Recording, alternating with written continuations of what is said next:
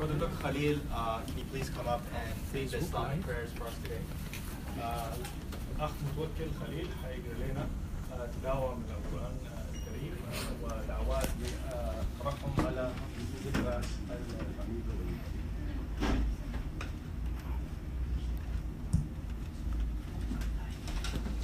أعوذ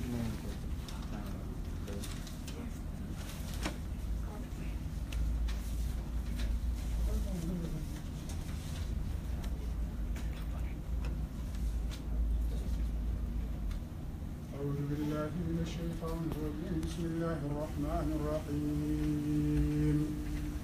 تبارك الذي بيده الملك وهو على كل شيء قدير.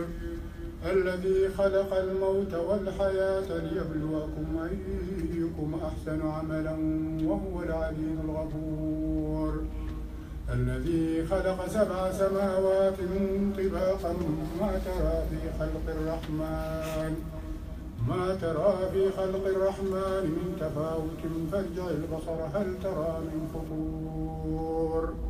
ثم ارجع البصر كرتين ينقلب إليك البصر وهو حسير. صدق الله العظيم. اللهم اهدنا فيمن هديت وعافنا فيمن عافيت وبارك لنا فيما أعطيت. وقنا واصرف عنا برحمتك شر ما قضيت. اللهم هذا ال- الذي فقدناه الأستاذ آه، عبد الحليم صبار. اللهم اغفر له وارحمه وسامحه ووسع مدخله آمين. آمين. آه، وسع مدخله اللهم إن كان محسنا فزد في إحسانه وإن كان مسيئا فتجاوز عن إساءته آمين. اللهم اغفر له وارحمه. واغفر لنا إذا صرنا إلى ما صار إليه يا أرحم الراحمين آمين. اللهم اغفر لوالدينا. ولوالد والدينا ولجميع من سبقونا بالإيمان Uh. القس توم ترحما لروح الفقير This church, Truro Church, is a church in the uh, part of the Anglican Communion in the tradition of Christianity of the Church of England. And I will, in a moment, lead us in a prayer that's used to commend the departed into the hands of Almighty God.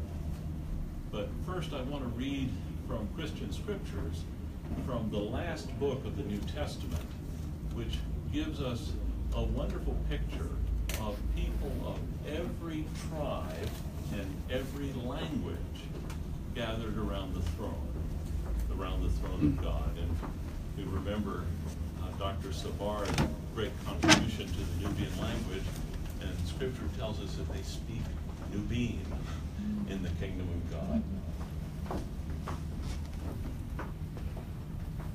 After this I looked, and there before me was a great multitude that no one could count, from every nation, tribe, people, and language, standing before the throne and in front of the Lamb.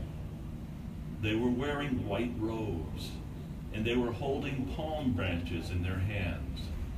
And they cried out in a loud voice, Salvation belongs to our God, sits on the throne, and to the Lamb.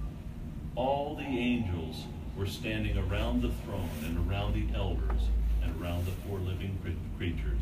And they fell down on their faces before the throne, and they worshiped God, saying, Amen. Praise and glory, wisdom and honor and power and strength be to our God forever and ever. Amen. And now the prayer we use to commend the departed into the hands of God. Into your hands, O merciful Savior, we commend your servant, Abdel Ali. Acknowledge, we humbly beseech thee, a sheep of your own fold, a lamb of your own flock, a sinner of your own redeeming, receive him into the arms of your mercy and into the blessed rest of everlasting peace and into the glorious company of the saints in light. Amen. May his soul and the souls of all the departed, through the mercy of God, rest in peace. Amen. Thank you, Reverend Tom Pritchard, for those kind words. Um, Sabin, uh, Tumito, do you want to call for? Yes, now I would like to get the call for the families. And uh, while we're doing this, we're going to do the movie about his life.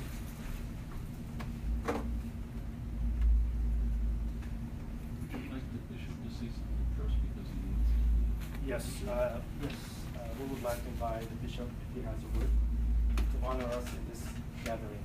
Thank you, my brother. Thank you. Thank you so much. Good afternoon. I greet you in the name of Jesus Christ, and it is a privilege to, to be with you.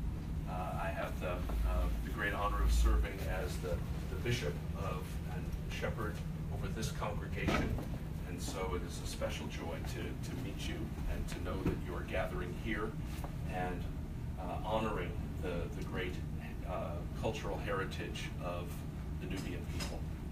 Um, the Nubian people were one of the first groups to ever know uh, the story of Jesus Christ, as the, uh, the, the, the gospel of Jesus Christ came to, uh, to the Nubian people, the people of Ethiopia, just a few years after the life of Jesus. And so you, um, you are bearers of a great tradition, uh, a great heritage of, of the, uh, the gospel of, of Jesus. And we, uh, we know that the gospel has long thrived in, in Nubia and, and in the region of that part of I've not had the privilege of, of journeying to that, uh, to that land. I've only gotten as far as northern Kenya and Ethiopia, but one day, by God's grace, I hope that I could visit your, uh, your, your people and that, that sacred homeland. So it's a joy to, uh, to be with you. I, I ask your forgiveness for having to, to leave to uh, attend another commitment tonight, uh, but I'm honored that my wife Meg and I could be with you for these few minutes. And thank you so much for your gracious welcome.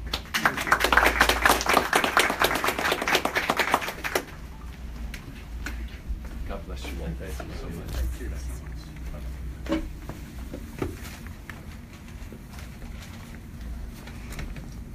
Now we're gonna start the video portraying his life. Yes. Um,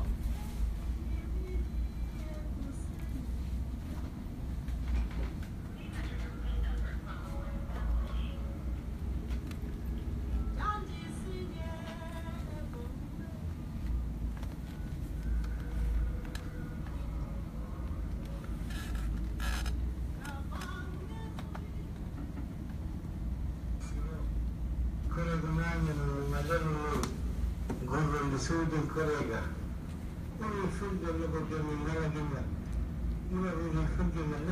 ke ke ke ke ke jami'a ro ai hadanya na wani ya wata wani duk da wata nubi and the little window of the service will explain this just to deliver a very short message which may reach you wherever you are wherever you are هنتكلم شوية اللغات الثلاثة عشان كلام بسيط عبارة عن رسالة بسيطة تصلكم جميعا وأقصد بالذات اللغة النوبية العظيمة and I specify the great Nubian woman the great Nubian woman who stood throughout history as a very special woman from Africa from our good great country of Africa من قادتنا الإفريقية العظيمة to contribute not only to Africa, but to the whole world. And we are glad we have here a good friend of ours, Dr. Bill Jacobs, who is an alchemist. We have already welcomed my very good friend. Hello? Okay. Ustaz, uh, get in Ustaz Nadia. Now we'd like to welcome um, a call from uh, Sister Nadia Sabar, who will be speaking on uh, her brother's life. Yes. So Nadia, she's going to speak from Sudan. She's speaking from Khartoum on behalf of the family of Sabah. So she's doing the honors. That's why. we-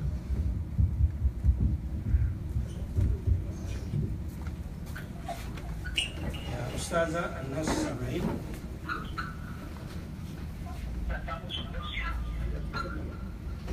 طب أستاذة نادية ممكن تتكلمي طوالي الميكروفون الآن؟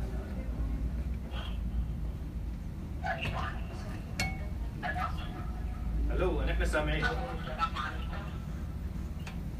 السلام عليكم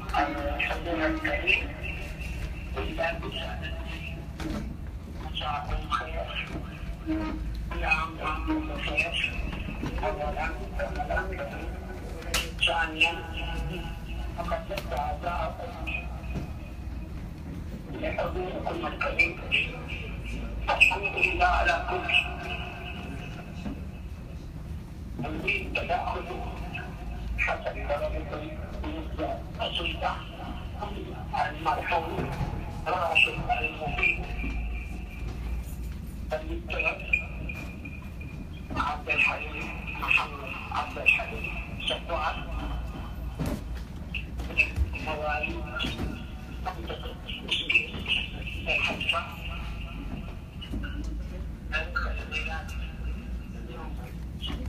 ستة اثنين وخمسين تلقى التعليم الأول في عام سابق والمرحلة الابتدائية بمنطقة حيفا اشتريت الوسطى بحيفا ولسيدنا الثانوية العليا. ثم التحق بجامعة الخرطوم كلية الطب. ونال 1 ولأنه كان سابق لأوانه دخل في عام أو في سن صغير جدا. بعد ما وصل إلى السنة الثالثة في جامعة الخرطوم انفصل من كلية الطب كما تعلمون والتحق بعد ذلك الجامعة في أثينا باليونان ثم جامعة البصرة ثم جامعة الإسكندرية للأزاريطة خرج بكلية الطب بدرجة مرتبة الشرف الأولى نال شهادة البكالوريوس في كلية الطب وذهب ورجع إلى السودان عمل حتى نال الشهادة الكلية الإسلامية الطبية حتى وصل نائب ثم ذهب إلى ألمانيا وفي ألمانيا التحق بمدينة استنبول عمل ال part 1 و part 2 لجراحة المخ والأعصاب أثناء وجوده في ألمانيا حدثت كارثة مثيرة كانت في المستشفيات الموجودة بحلفة الجديدة وعبري توفي خلال كلمة من النساء بالقيصرية السيزيريا للتلوث البيئي اللي حصل في غرفة العمليات شارك في اتصل مجموعة من الألمان بسكسونيا السفلى وتحصل على غرفة عمليات ثلاثة غرف عمليات. فاتصل بالمرحوم الباشمهندس حسن أحمد حسن. والمرحوم أحمد شريف حمزة. حضروا إلى ألمانيا واستلموا الغرف ابتدوا بمرحلة الغرفة في مدينة عكس وحلفاء الجديدة عليهم شارك لتجديد المستشفيات هناك. بعد ذلك تعرف على أستاذ البلدي ألماني في ألمانيا. الآن هو في مستشفى آه، آه، في إنجلترا. إن شاء الله سيشاركنا التعليم أيضا في السودان. آه، أثناء وجوده في ألمانيا برضه شارك مع أطباء بلا حدود لخدمة الإنسان النوبي وشارك مع أطباء بلا حدود. قام بعدة عمليات سريعة في حيفا الجديدة منها إلى يعني عملوا العمليات البسيطة وحولوا العمليات الكبيرة على حساب الأطباء بلا حدود. شارك أيضا بالدراسة في السودان هنا بجامعة الخرطوم والتحق جامعة الخرطوم للمرة الثانية بالدراسات الأفريقية والآسيوية لمواصلة الدراسات النوبية وحصل على عدد اثنين من الماجستير في الطب البلدي. ومنها واصل مع الجمعية النوبية وشارك في تكوين جمعيات اللغة النوبية بالجامعة أيضا حاول إنه يعني يكلف الطلبة النوبيين بجميع عضو الجامعات. إنه مشاريع التخرج كلها تكون مجموعة مشاريع للنهضة النوبية والآثار النوبية والتراث النوبي. كانت حياته أيضا لنهضة المنطقة النوبية. حاول في الدراسات النوبية من الكتب النوبية المجموعة كانت. إنه كيف تتحدث النوبية كيف تكتب اللغة النوبية كيف تتحدث باللغة منها كانت عن الحكمة عن السلاح عن القاموس عن كل الأشياء اللي تخص التراث والقاموس النوبي حاول المقارنة بين التراث النوبي والقاموس الألماني آه كان عندنا باحث السجون بعد معانا سنة وشوية هنا في البيت آه فكان عندي دراسات عن المقارنة بين الدراسات النوبية والألبانية. بعدها شارك في مناقبة السدود وذلك للحفاظ على التراث النوبي والأرض النوبية. اللي نظر من أجلها وكان ضد المناهضات السدود مع بأنه كان بيقارن الهجرة اللي حصلت للسد العالي وسد أسوان لا تتقارن مع هجرة السدود لسددان وكنبار. عمل عدة مشاريع أو الدراسة الأخيرة في المشروع النوبي إنه كان بيشوف حتى في المقارنة والمرجعية للكلمات النوبية كانت المرجعية الأولى واللي رحمة الله عليها. منها كان بيقارن الطريقة بتاعت الصوت وكان بيشوف صوتي قبل الصوت صوت الحبة المرحومة بيحاول يركب طريقة النطق الأسرة بتتكلم كيف ويقول نفس الموضوع بيتلقنوه كيف أصبح جلسة غير المنزل بيحاول مواصلة طريقة التفكير اللي هو كان بيحاول يعمل بها فإن شاء الله في حضور التأديب حيجي يعمل المقارنة هي الدراسة الأخيرة. عنده عدة كتب عنده كتابات ومقالات كبيرة موجودة. إن شاء الله ستنمو وحتنزل بإذن الله في مجلدات كثيرة. أيضا يعني كانت نهضة الأجندة منها ممارس المناظر انه حتى لما نتكلم ما نتكلم باللغة العربية. فقط لأن الكلمة اللغة النوبية ما دخل فيها أي كلمة عربية. نتكلم بكل الكلمات النوبية الموجودة أو المتاحة من الكتابات. نعرف برضه من كتابة الشعر. فكانت له الكلمة أو البسيطة اللي يغنيها البلاد خضر العصار دنيا الأشريين كل ما يوسف حاولت برضه من كتابات حاول في البرنامج في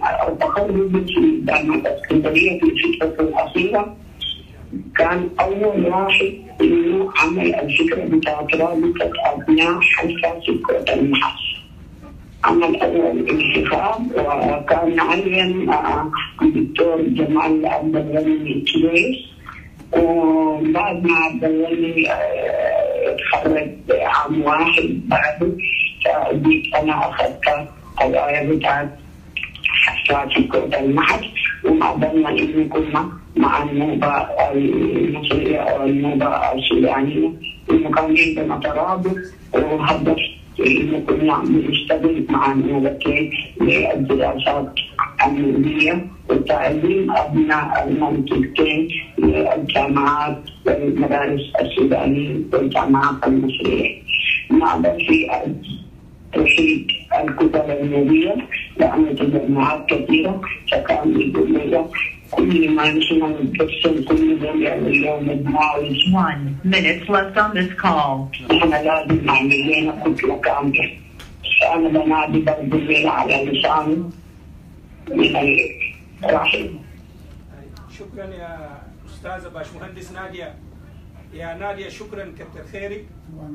شكرا الناس كلهم استمعوا لك وشكرا كثير وإن شاء الله يعني ربنا يرحمه وربنا يغفر له. وعملوا صلوات هنا أخونا متوكل. وأخونا توم بريتش كلهم عملوا صلوات وإن شاء الله ربنا يرحمه ويغفر له وربنا يصبركم. شك... شكرا عشان وقت الكرت انتهى. أيوه. شكرا شكرا. Before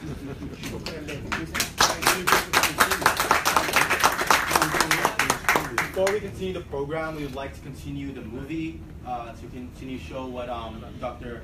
Uh, Sabar has fought for all his life. My teacher, and contributed greatly to the European studies, including first of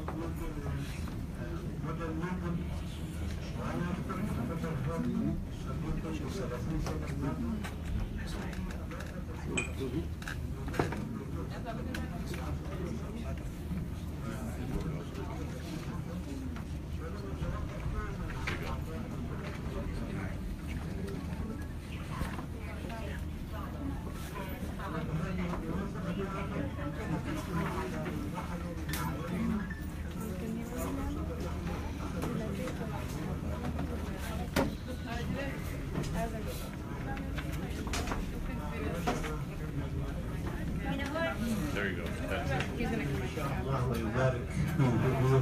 وفي اهله والابائنا جميعا. تمام البروفيسور هورمان قال ما كان يعيد كل فرح بسبب الكوارث اللي حلت هنا في السعوديه.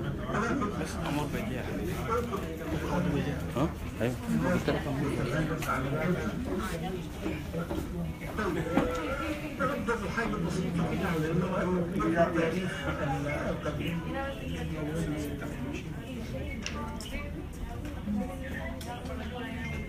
المرأة المادية هي الأم is the mother, is the sister, is the daughter, is the aunt, is the niece, is the granddaughter, is the grandmother, and she's a Nubian history, and she's a Nubian identity. المرأة النوبية هي هوية النوبيين وليس للنوبيين هوية بدون المرأة النوبية ما نساوي أي حاجة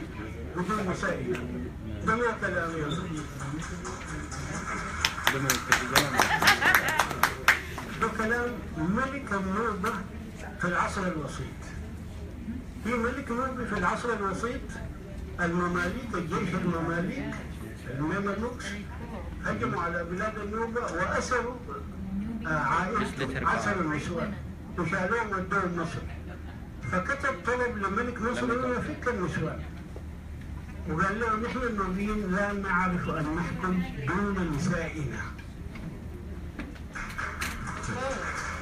you pause that a minute? I want So the new to building the medieval era the letter Oh, to his uh, equivalent Egypt, the Egyptian king, asking him to release وقال له نحن النوبيين لا نعرف ان نحكم دون نسائنا Oh, I turned. Can you pause second? I want to get that. All right, thank you. A lot of men ought to learn that. So the new king in the medieval era wrote a letter to his uh, equivalent in Egypt, the Egyptian king Menelik, asking him to release the intelligent negotiations, uh, his wife his family, his brother, everybody telling you that the movies, she said, we movies cannot rule without a rule. So what I'm just, just a Thank you for listening to the movie. Uh, we would like to continue the program with a call from the president of the Nubian Language Society. It's actually, this is Dr. Muhammad. This is Dr. Muhammad. Oh, sorry. Sorry. Yeah, Dr. Muhammad. Um, yeah, doc, um, he's a representative of the Nubian leadership in Sudan.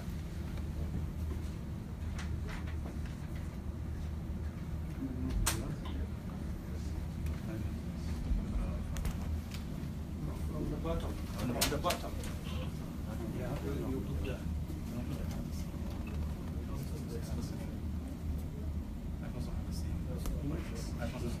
Okay, just put it on the speaker, put it, put it, put it on the speaker.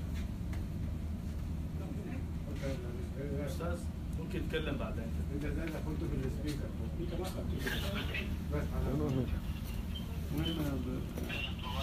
أيوه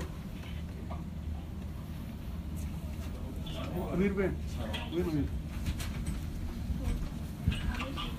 أمير يب أمير يس تكلم طوال يا أستاذ. لسه ما شغال. نو نو الحاجات دي ما شغالة.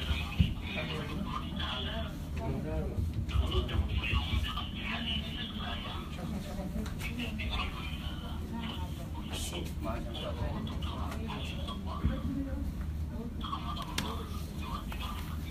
winning.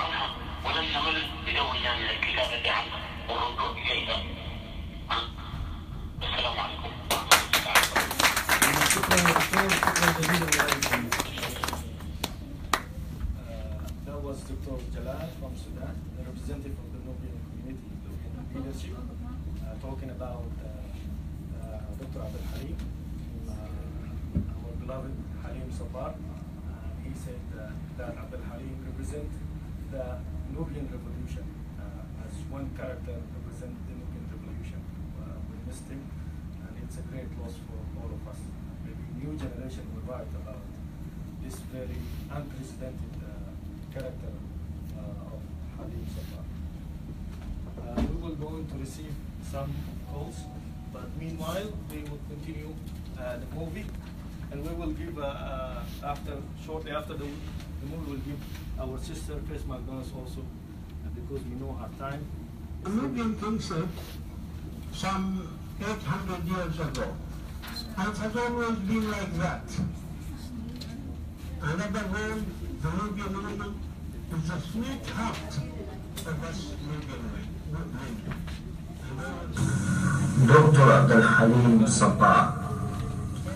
He was born in the village of Ishkil in Wadi Haifa in 1949, where he finished the primary and the middle school. He was one of the fewest primary school students to be taught by Ustad Muhammad Wadi, the great Nubian singer. He experienced the crisis of the Nubian displacement from Wadi Haifa to Kashmir when he was only 15. His people were forcibly displaced from Lower Nubia to eastern Sudan after the erection of the High Dam. This catastrophic event shaped his whole life. In the late 1960s, he moved to Khartoum to finish high school. He was an intelligent student in the school. He was also known for his revolutionary character and for his support of democracy and freedom. So it wasn't a surprise to see him among thousands of Sudanese students and youngsters marching out in the streets of Khartoum during the October Revolution, the first revolution. He joined the University of Khartoum Faculty of Agriculture in 1967. But then later he discovered a strong interest in studying medicine. Immediately he left the University of Khartoum and traveled to Greece to achieve his dream to become a doctor. He was a humanitarian, message to serve the poor people in his community.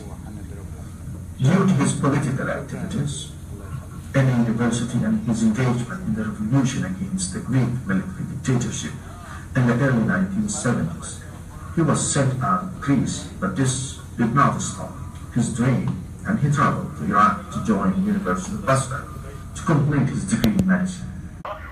His, his name is Abdel Muhaymin Taiferi from uh, Nubia, uh, the, uh, the island of Bali, and he is now speaking inside Nubia. The NLS uh, leader, the NLS president, would like to give some word about Abdel Halim Sabah. Uh, Muhaymin, Manji. Hello.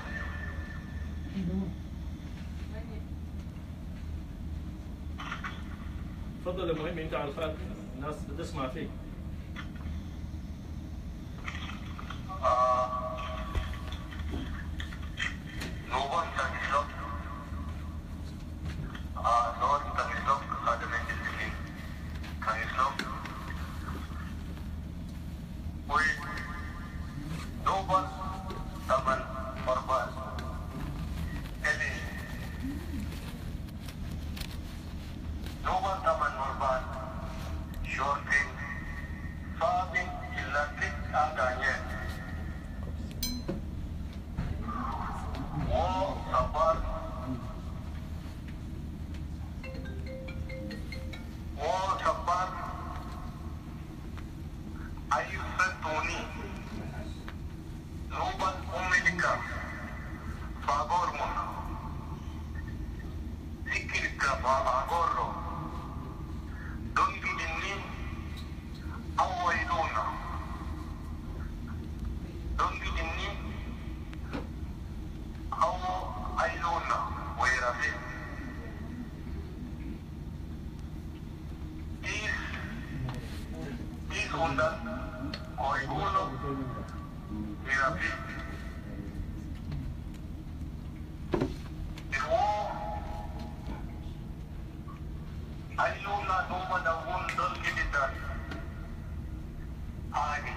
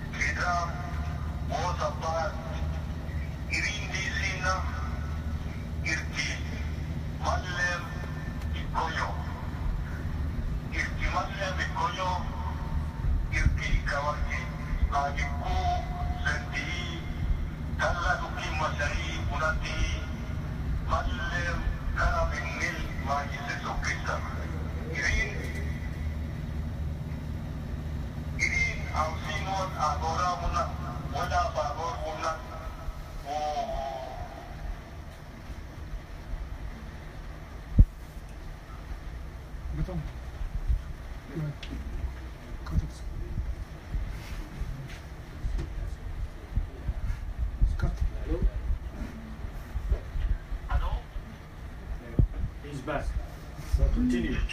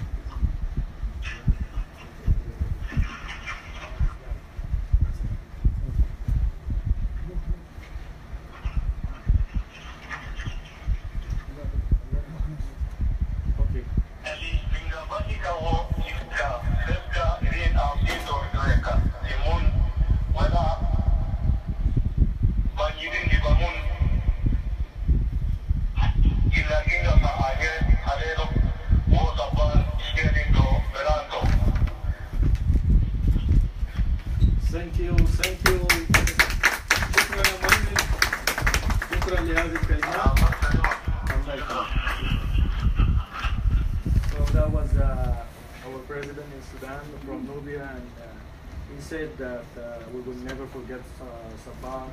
He was great when he lived, and he was great when he died. Thank you very much. For this, we will continue uh, our program with the movie.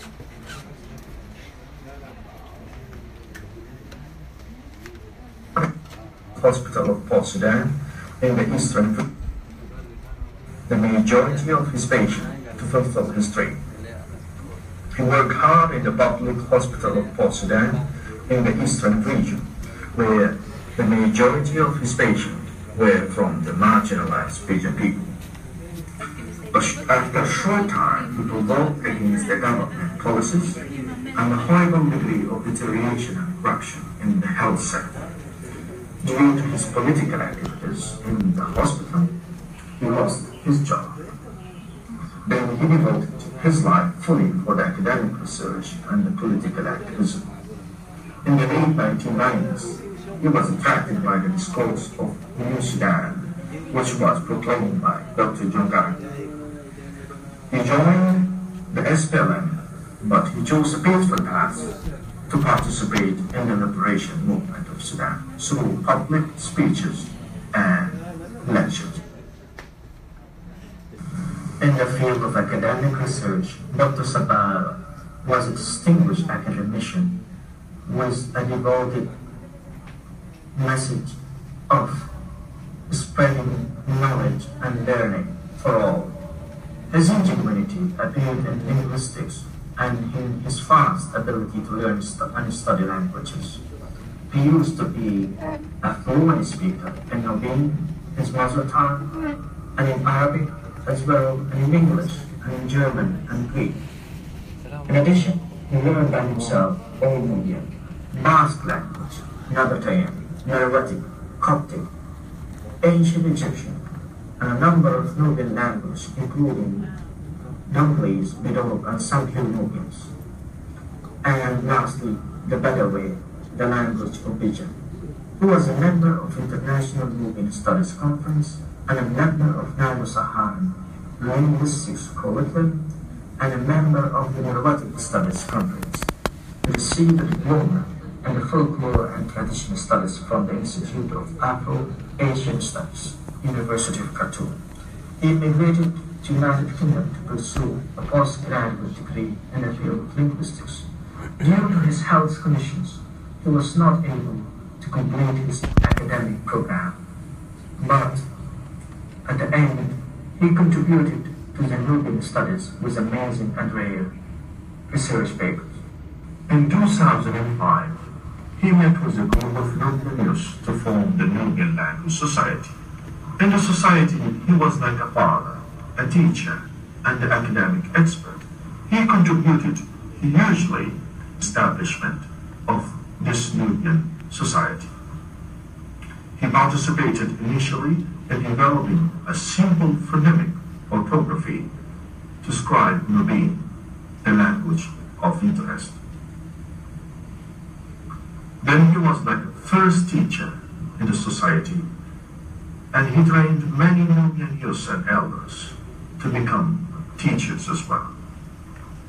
His method of writing, Nubian, which was based on Latin script, was used by the society for many years.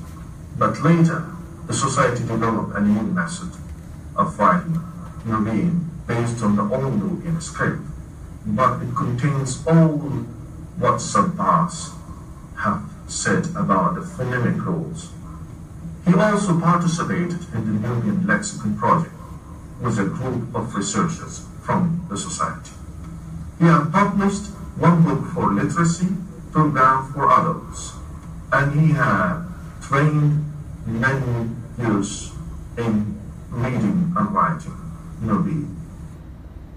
Dr. Sabah, as a freedom fighter, through his life, he did not stop his message and his confrontation with, his Islamic dictatorship, even during its difficult days. All political platforms, all universities, all academic and conferences and local clubs in Khartoum and Sudan, all churches, all public yards of Khartoum may witness for his strong and powerful speeches where he delivered to liberate many youths from North and South Sudan.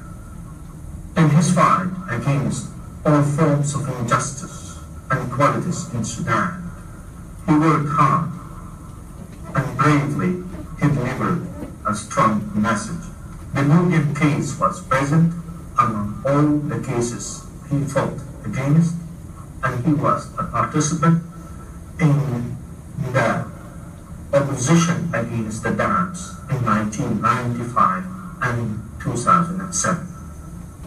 Last month, he died after 68 years, where he spent most of it in the struggle for freedom and democracy, and the rebellion against all form of totalitarianism and dictatorship.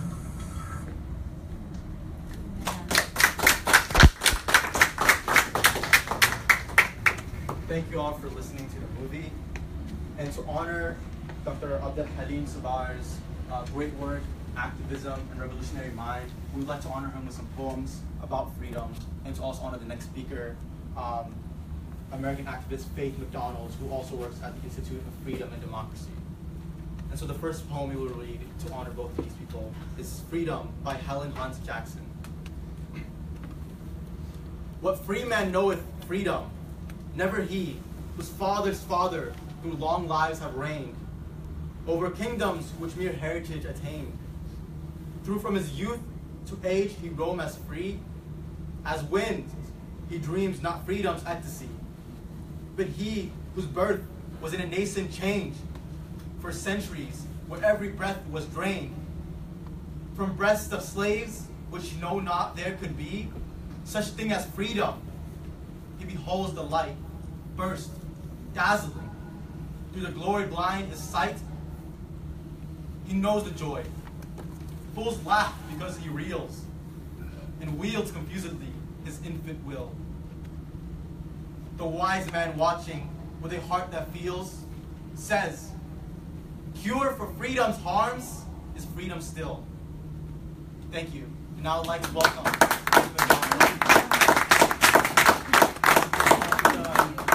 and Ruby and Kandaka. Please, McDonald. Okay.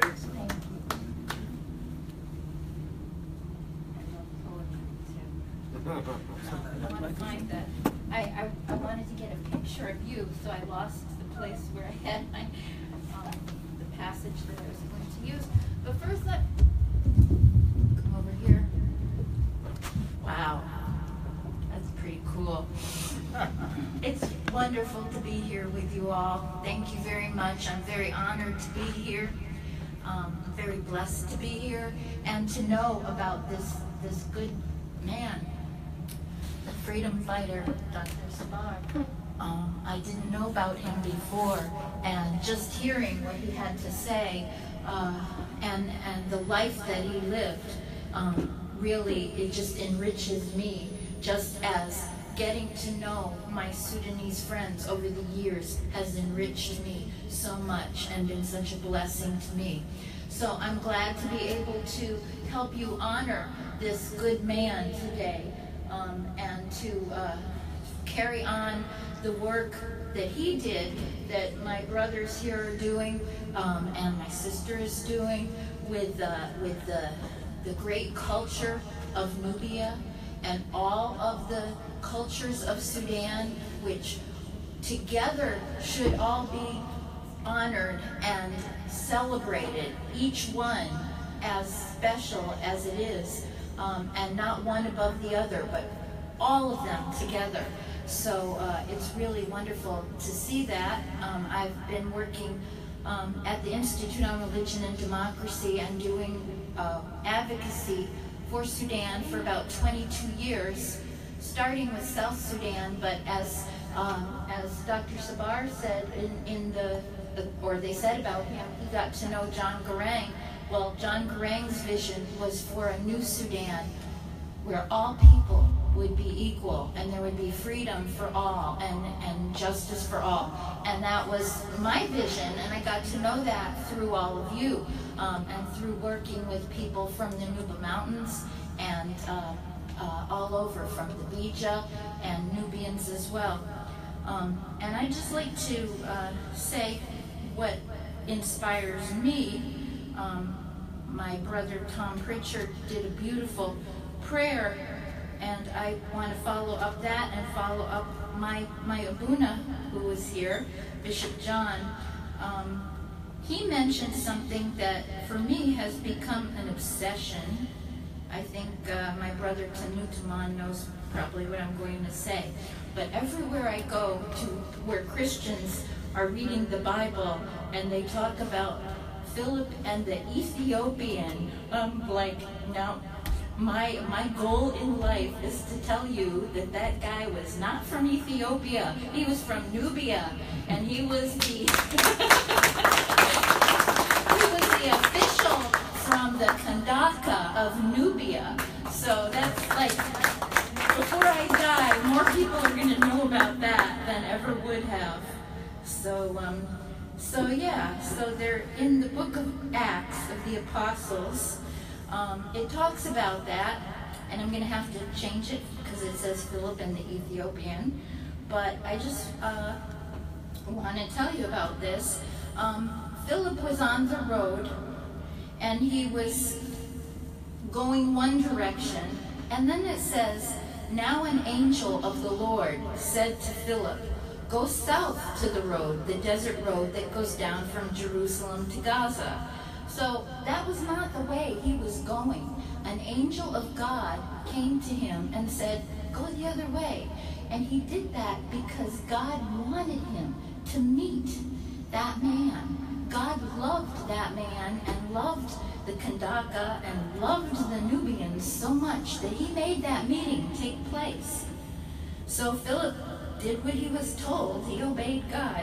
He started out, and on his way, he met a Nubian official, an important official in charge of all the treasury of the Kandaka.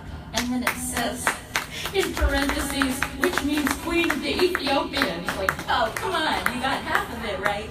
The Queen of Nubia. This man had gone to Jerusalem to worship and on his way home was sitting in his chariot reading the book of Isaiah the prophet. And you probably know there's a lot of prophecies about Sudan in the book of Isaiah too, um, which shows you how we're all connected. The Spirit, Holy Spirit, told Philip, go to that chariot and stay near it. Then Philip ran up to the chariot and heard the man reading the Isaiah the prophet. Do you understand what you're reading? He asked. How can I, he said, unless someone explains it to me? Well, God sent somebody to explain it. So he invited Philip to come up and sit with him. And the passage that the, the official was reading, he was led like a sheep to the slaughter. And as a lamb before its shearer is silent, so he did not open his mouth. In his humiliation, he was deprived of justice. Who can speak of his descendants? For his life was taken from the earth. The official asked Philip, Tell me, please, who is the prophet talking about, himself or someone else? Then Philip began with that very passage of Scripture and told him the good news about Jesus.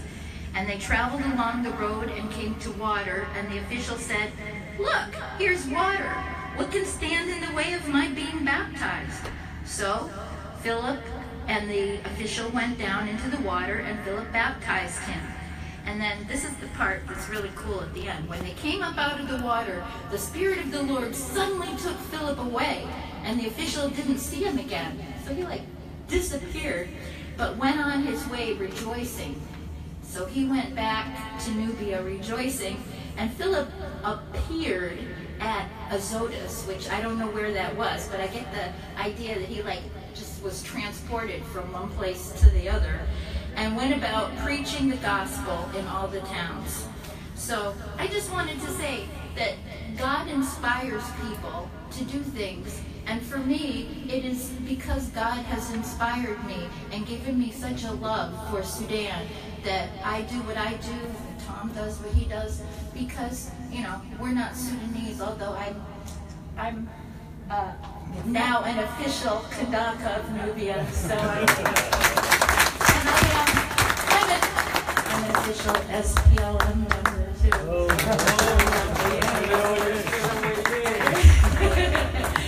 so uh, I just wanted to say that and to tell you that I love. love you. I'm glad that you are coming back to your Nubian language. Um, someday my people will come back to their Irish Celtic language and we will all have our identity of who God created us to be.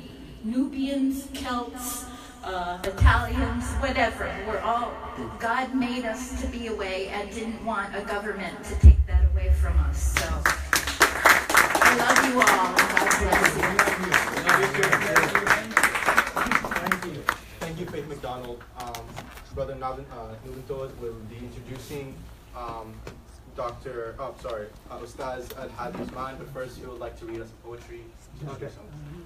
العصافير تموت في السبيل.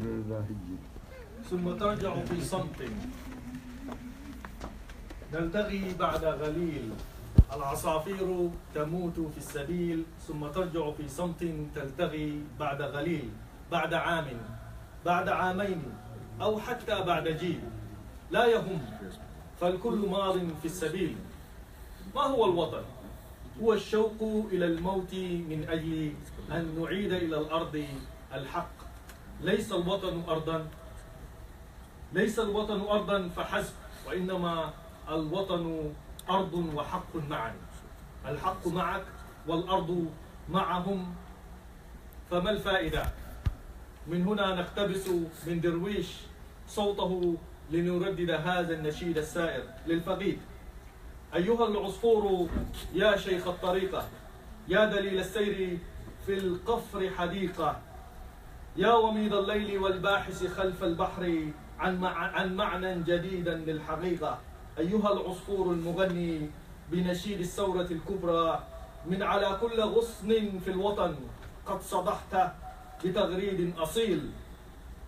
أراه يسري في دمي في دم كل عشاق الوطن في كل دقيقة قد تمددت على كل الشواطئ رملا ونخيل أيها الذاهب للموت مغطى بالفرح.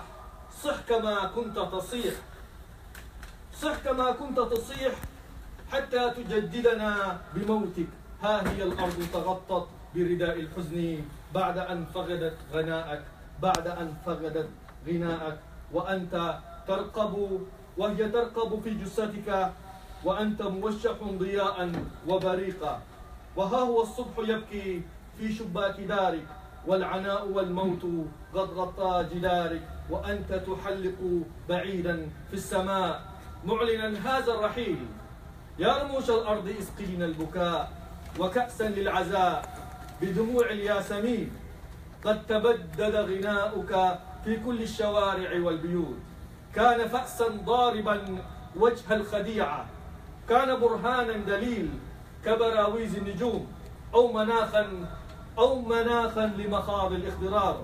أيها العصفور يا ابن النهار ارتشف قبلتك من هذا العناق الوطني لتسقط كل لوحة مزيفة. رسمت على وجه الوطن. أيها العصفور الجليل قم وغني ملهما كل أسرار الطيور. وافرد جناحيك وارمي كؤوسا أربعة. تستقيها الروح تنجيدا غناء للوطن. واحفر نشيدك واحفر نشيدك في كل القلوب شكلا قريبا للوطن. الأستاذ الهادي عثمان الفنان النوبي في كلمة المرحوم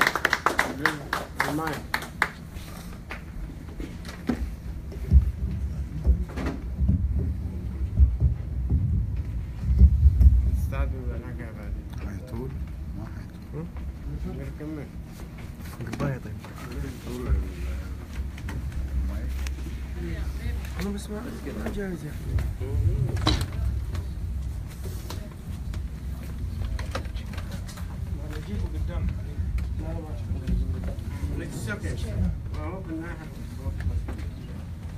آه طيب السلام عليكم. وحقيقة الواحد آه، متشرف شديد جدا إنه يشارككم في تعبير الدكتور عبد الحليم صباح.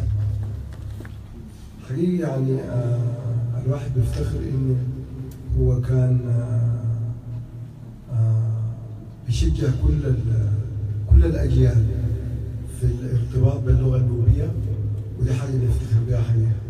أنا يعني قريت عنه نبذة آه، كثير عن حياته اللي كان عايشها عرفت أنه كان رجل ثوري وشارك في أكتوبر وبرضه كان مشى العراق وبرضه شارك في المظاهرات هناك. المفروض يمشي ال- بغداد فكان حوله في البصرة فعمل مظاهرات هناك الطلبة. آه، الرئيس جعفر النميري كان جاي فقابوا الطلبة آه، مشوا السفارة السودانية واعتقلوا السفير على أساس إنه آه، الرئيس جعفر النميري ما يجي. فالرئيس آه، النميري أول ما خلوه أنا أقول حقيقة مش رئيس الدكتاتور معلش فمن هناك قام أرسل آه، لصدام إنه المفروض يمشوا يعتقلوا الناس في السفارة. ف أو حيرجع فحقيقة ما توفق وفعلا رجع ومشوا اعتقلوا طلبة ال- اللي قاموا بال- بالاعتقال بتاع السفير. هو ما اعتقلوه فهو قام مشى بشجاعته مشى سلم نفسه. قال لهم أنا كنت من ضمن الطلبة اللي اعتقلوا آه، السفير. فحقيقة كان موقف شجاع جدا منه. الحاجة الثانية إنه يعني هو بشجع انه نحن ما نقول للغة النوبية رطان. فكان يعني آه، بشجع الناس إنه نحن نقول إنه لغتنا بنتكلم اللغة النوبية. فكان بيرفض آه، كلمة رطانة ويقول رطانة هي آه، معنى كلمة رطانة هي الزريبة بتاعت ال- البقر أو أو صوت صوت البقر أو صوت ال- ال- الجبل. فحقيقي يعني آه، الواحد آه، يمكن آه، حزين جدا إنه ما التقيت به شخصيا لكن ذكراه محافظة خالدة جوانا وبنفتخر إن إحنا كنوبيين إنه يكون هو واحد من الناس اللي طلعتهم النوبة. وان شاء الله ذكراه محافظة خالدة وشكرا لكم جزيلا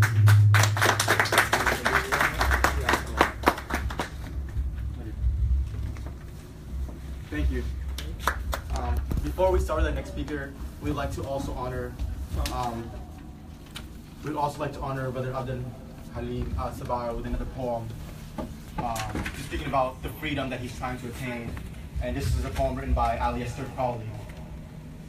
The free bird thinks of another breeze, and the trade winds soft through the singing trees, and the fat worms waiting on a dawn bright lawn and he names the sky his own. But a caged bird stands on the grave of dreams.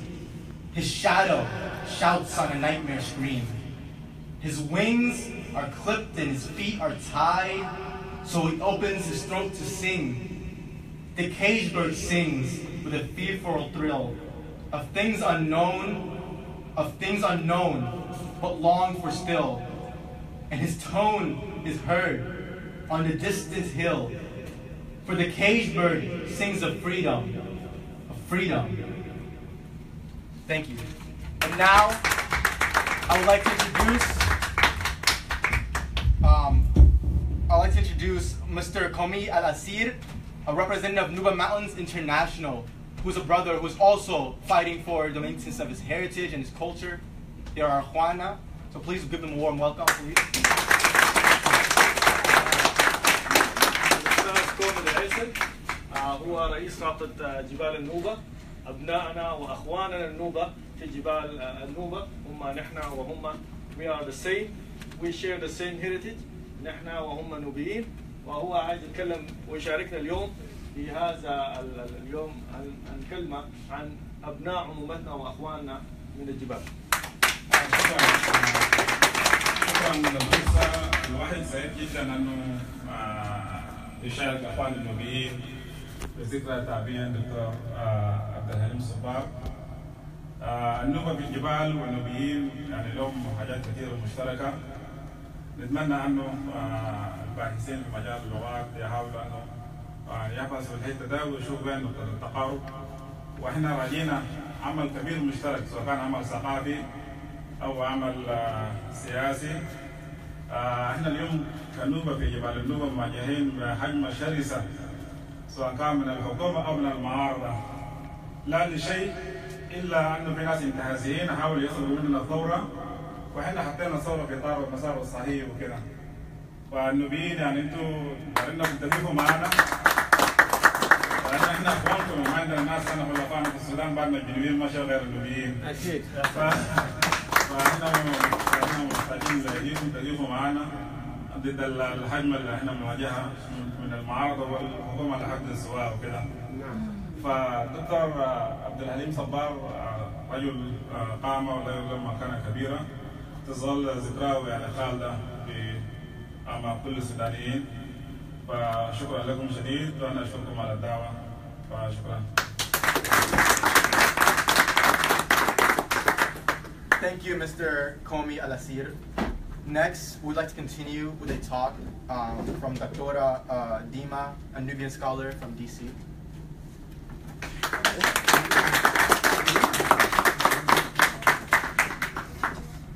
Thank you very much. Can everyone hear me just fine?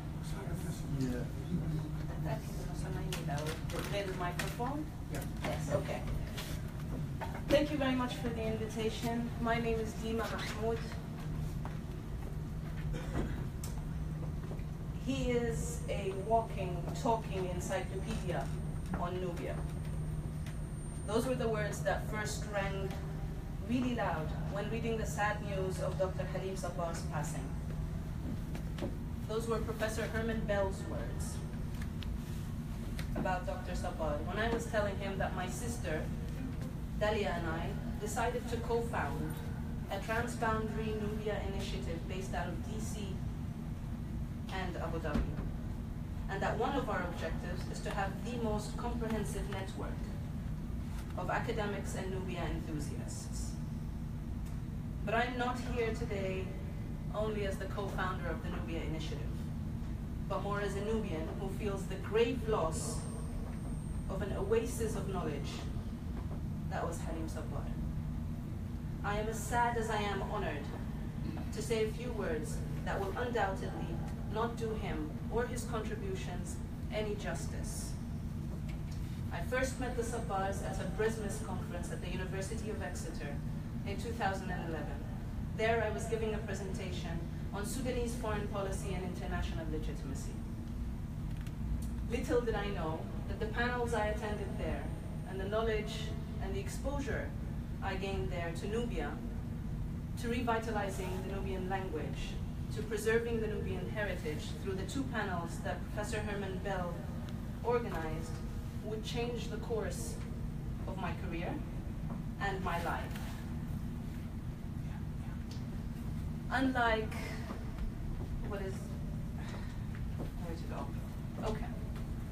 I will not focus on who Dr. Sabbar was as a person, but rather as his contributions. And I will echo Abdullah Sabbar's words, his brother, to you. And I quote, First of all, my thanks and greetings to the Assembly on behalf of the family, and I extend my sincerest gratitude and appreciation. Second, I will not speak about my brother as a person, but rather I choose to focus on what he has left behind, and more importantly, the continuity of work. In a few days, Abdullah Sabbar will be traveling to London, actually closer to Manchester, to collect the works, books, and writings of his brother, the late Dr. Halim Sabbar. He will then set a group, along with Dr. Kirsty Rowan from SOAS University, Mr. Marcus Yeager from the University of Cologne, and of course his friend, colleague, and brother, Professor Herman Bell, to carry on the late Dr. Halim Sabbar's work on Nubia and for the Nubians. Through this group, Mr. Abdullah Sabbar hopes to do whatever is necessary to preserve and continue his late brother's work. And through that, him and I enlist the help of all who have known Dr. Sabad personally, and all who appreciated his work and his contributions to the revitalization of the Nubian language to join the Nubia Revitalization Team the work in keeping, preserving, promoting, and protecting the Nubian heritage. I urge you, the young and the old, here and everywhere else in the diaspora as Nubians, focus on what he has contributed to us as a civilization, to us as a people. I am a young Nubian who didn't live Nubia. I don't speak the language. But I have joined the Nubia Revitalization Team and I have co-founded this organization to really take pride in who we are as Nubians. And that is truly the essence of the late Dr. Sapar's work. And I hope that I have your support in really finding common ground and continuing his great work. Thank you very much.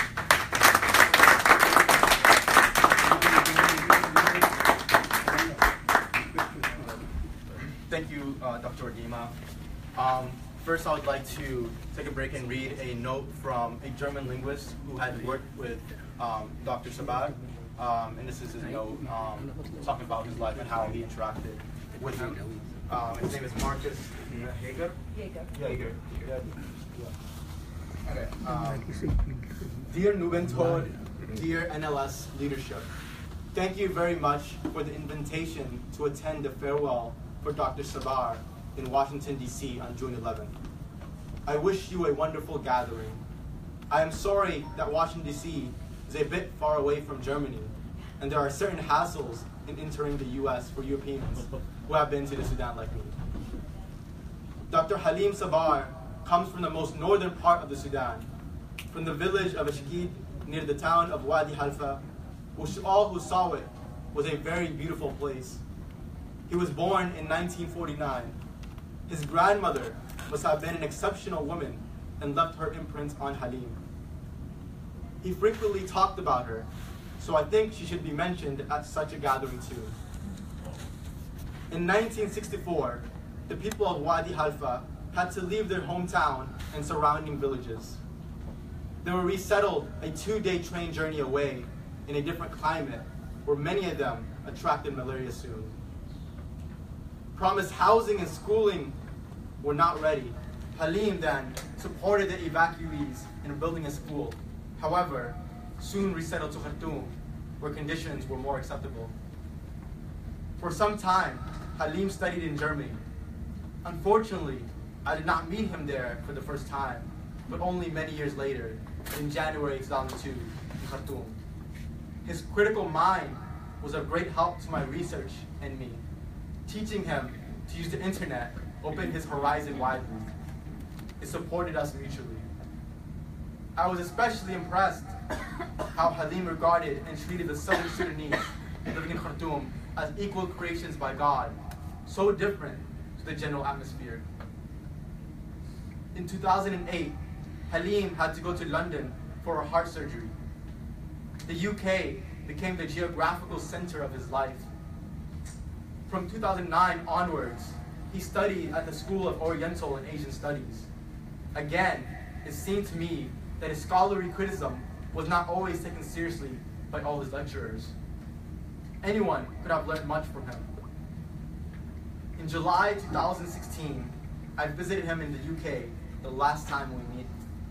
While he was very sad that he could not visit his beloved home country, the Sudan, anymore, I experienced him more joyful than ever before in his life. While I was very sad to hear Halim passing away, I was glad to learn that Halim's body was so well received back home in Khartoum. I am looking forward to meeting such an exceptional human, scholar, and expert again. Greetings from Marcus Yeager. Yeah. Yeager.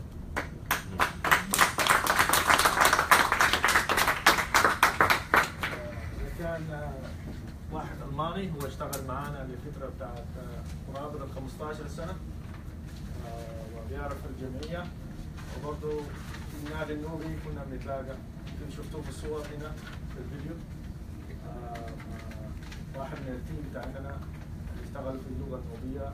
ماركوس اشتغل في الدنقلاوية آه، هو في اللغة الدنقلاوية متخصص والكنزية وعندنا هانس كريستيان رولان بيرنر برضه من ألمانيا نفس الجامعة جامعة كولون. Mubin, our Uh, I was just uh, translating for them uh, Arabic. To continue, um, I would like to introduce Mr. Yusuf Gassim, a Nubian activist uh, who will also be speaking uh, more on Dr. Sabah's life. if you are here.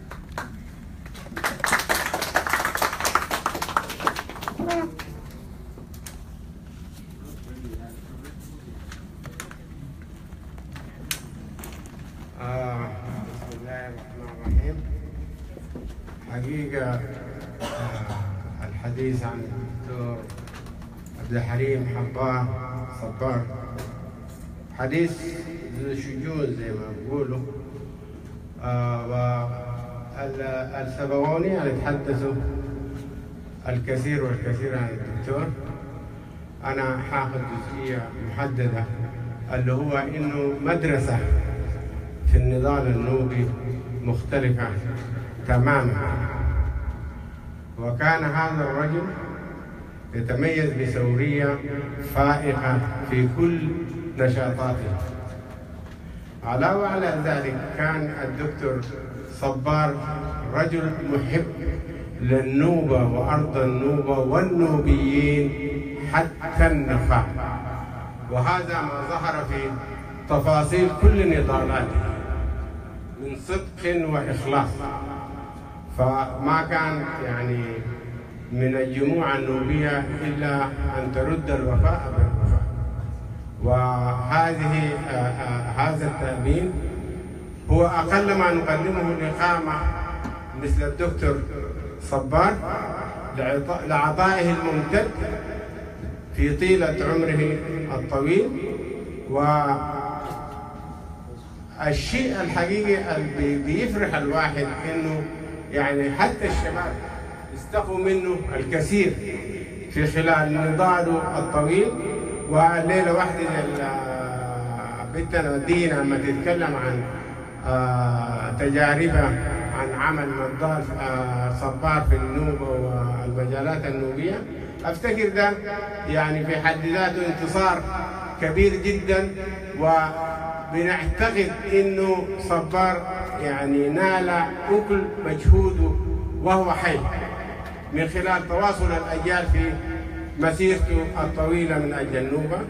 ولا أكثر الحديث لكن نقول نترحم على هذه القامة الكبيرة النوبية ونقول إن شاء الله ربنا يتقبل قبول حسن واجعله من أهل الجنة. آمين. وصبر أهله صبر النوبيين عامة وأهل السودان بوجه عام. والسلام عليكم.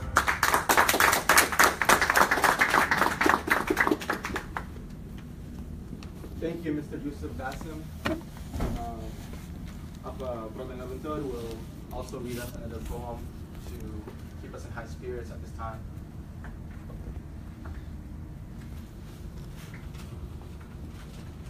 طيب إلى روح الفريد صبار أقرأ من البيتوري حين يأخذك الصوت منا فتبدو بعيدا كأنك راية غافلة قد غربت في الرمال تعشب الكلمات القديمة فينا. وتشهق نار الغرابين فوق رؤوس الجبال. وتدور بنا أنت يا وجهنا المختفي خلف ألف سحابة. في زوايا الكهوف التي زخرفتها الكآبة. ويجر السؤال السؤال وتبدو الإجابة نفس الإجابة. ونناديك نغرس أصواتنا شجرا صندليا حواليك نركض خلف الجنائز نأتيك بالأوجه المطمئنة والأوجه الخائفة. بتمائم أجدادنا بتعاويذهم حين يرتطم الدم بالدم بالصلوات المجوسية الخاطفة بطقوس المرارات بالمطر المتساقط في زمن القحط بالغاب والنهر والعاصفة. قادما من بعيد. قادما من بعيد. أنا ما فاهم أي حاجة. قادما من بعيد على صهوة الفرس. الفارس الحلم ذو الحربة الذهبية. يا فارس الحزن مرق حوافر خيلك فوق مقابرنا الهمجية. حين انتزعتها من الموت كل سحابة كل سحابة موت تنام على الأرض تمتصها الأرض. تخلقها ثورة في حشاها. انتزعها من الموت. يا فارس الحزن أخضر. قوس من النار والعشب صوتك أخضر. بريق وجهك قبرك رك ثراها. لا تحفروا لي قبرا سأرغد في كل شبر من الوطن. لا تحفروا لي قبرا سأرغد فوق كل شبر من الأرض. أرغد كالماء في جسد النيل. أرغد كالشمس فوق حقول بلادي. مثلي أنا ليس يسكن قبرا. لقد وقفوا ووقفت لمن يظن الطغاة الصغار. وتشحب ألوانهم أن موت المناضل موت القضية. اعلم سر احتكام الطغاة إلى البندقية. لا خائفا إن صوتي مشنغة للطغاة جميعا. لا خائفا إن صوتي مشنغة للطغاة جميعا. لا نادما إن روحي مثقلة بالغضب. كل طاغية صنم كل طاغية صنم دمية من خشب. وتبسمت كل الطغاة دمى. ربما حسب الصنم الدمية المستبدة وهو يعلغ أوسمة الموت فوق صدور الرجال أنه بطل ما يزال وخطوات على الغيد لا تحفروا لي قبرا لا تحفروا لي قبرا سأصعد مشنغتي وسأغلق نافذة العصر خلفي وأغسل بالدم رأسي.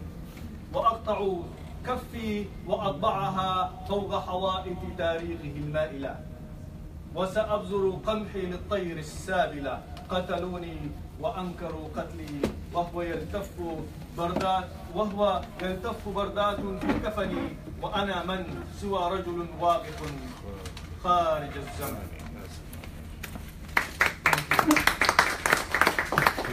next, we'd like to continue the program from a message from Fakir Abul Qasim from Halfa, and he is a also he is a Nubian writer. Um,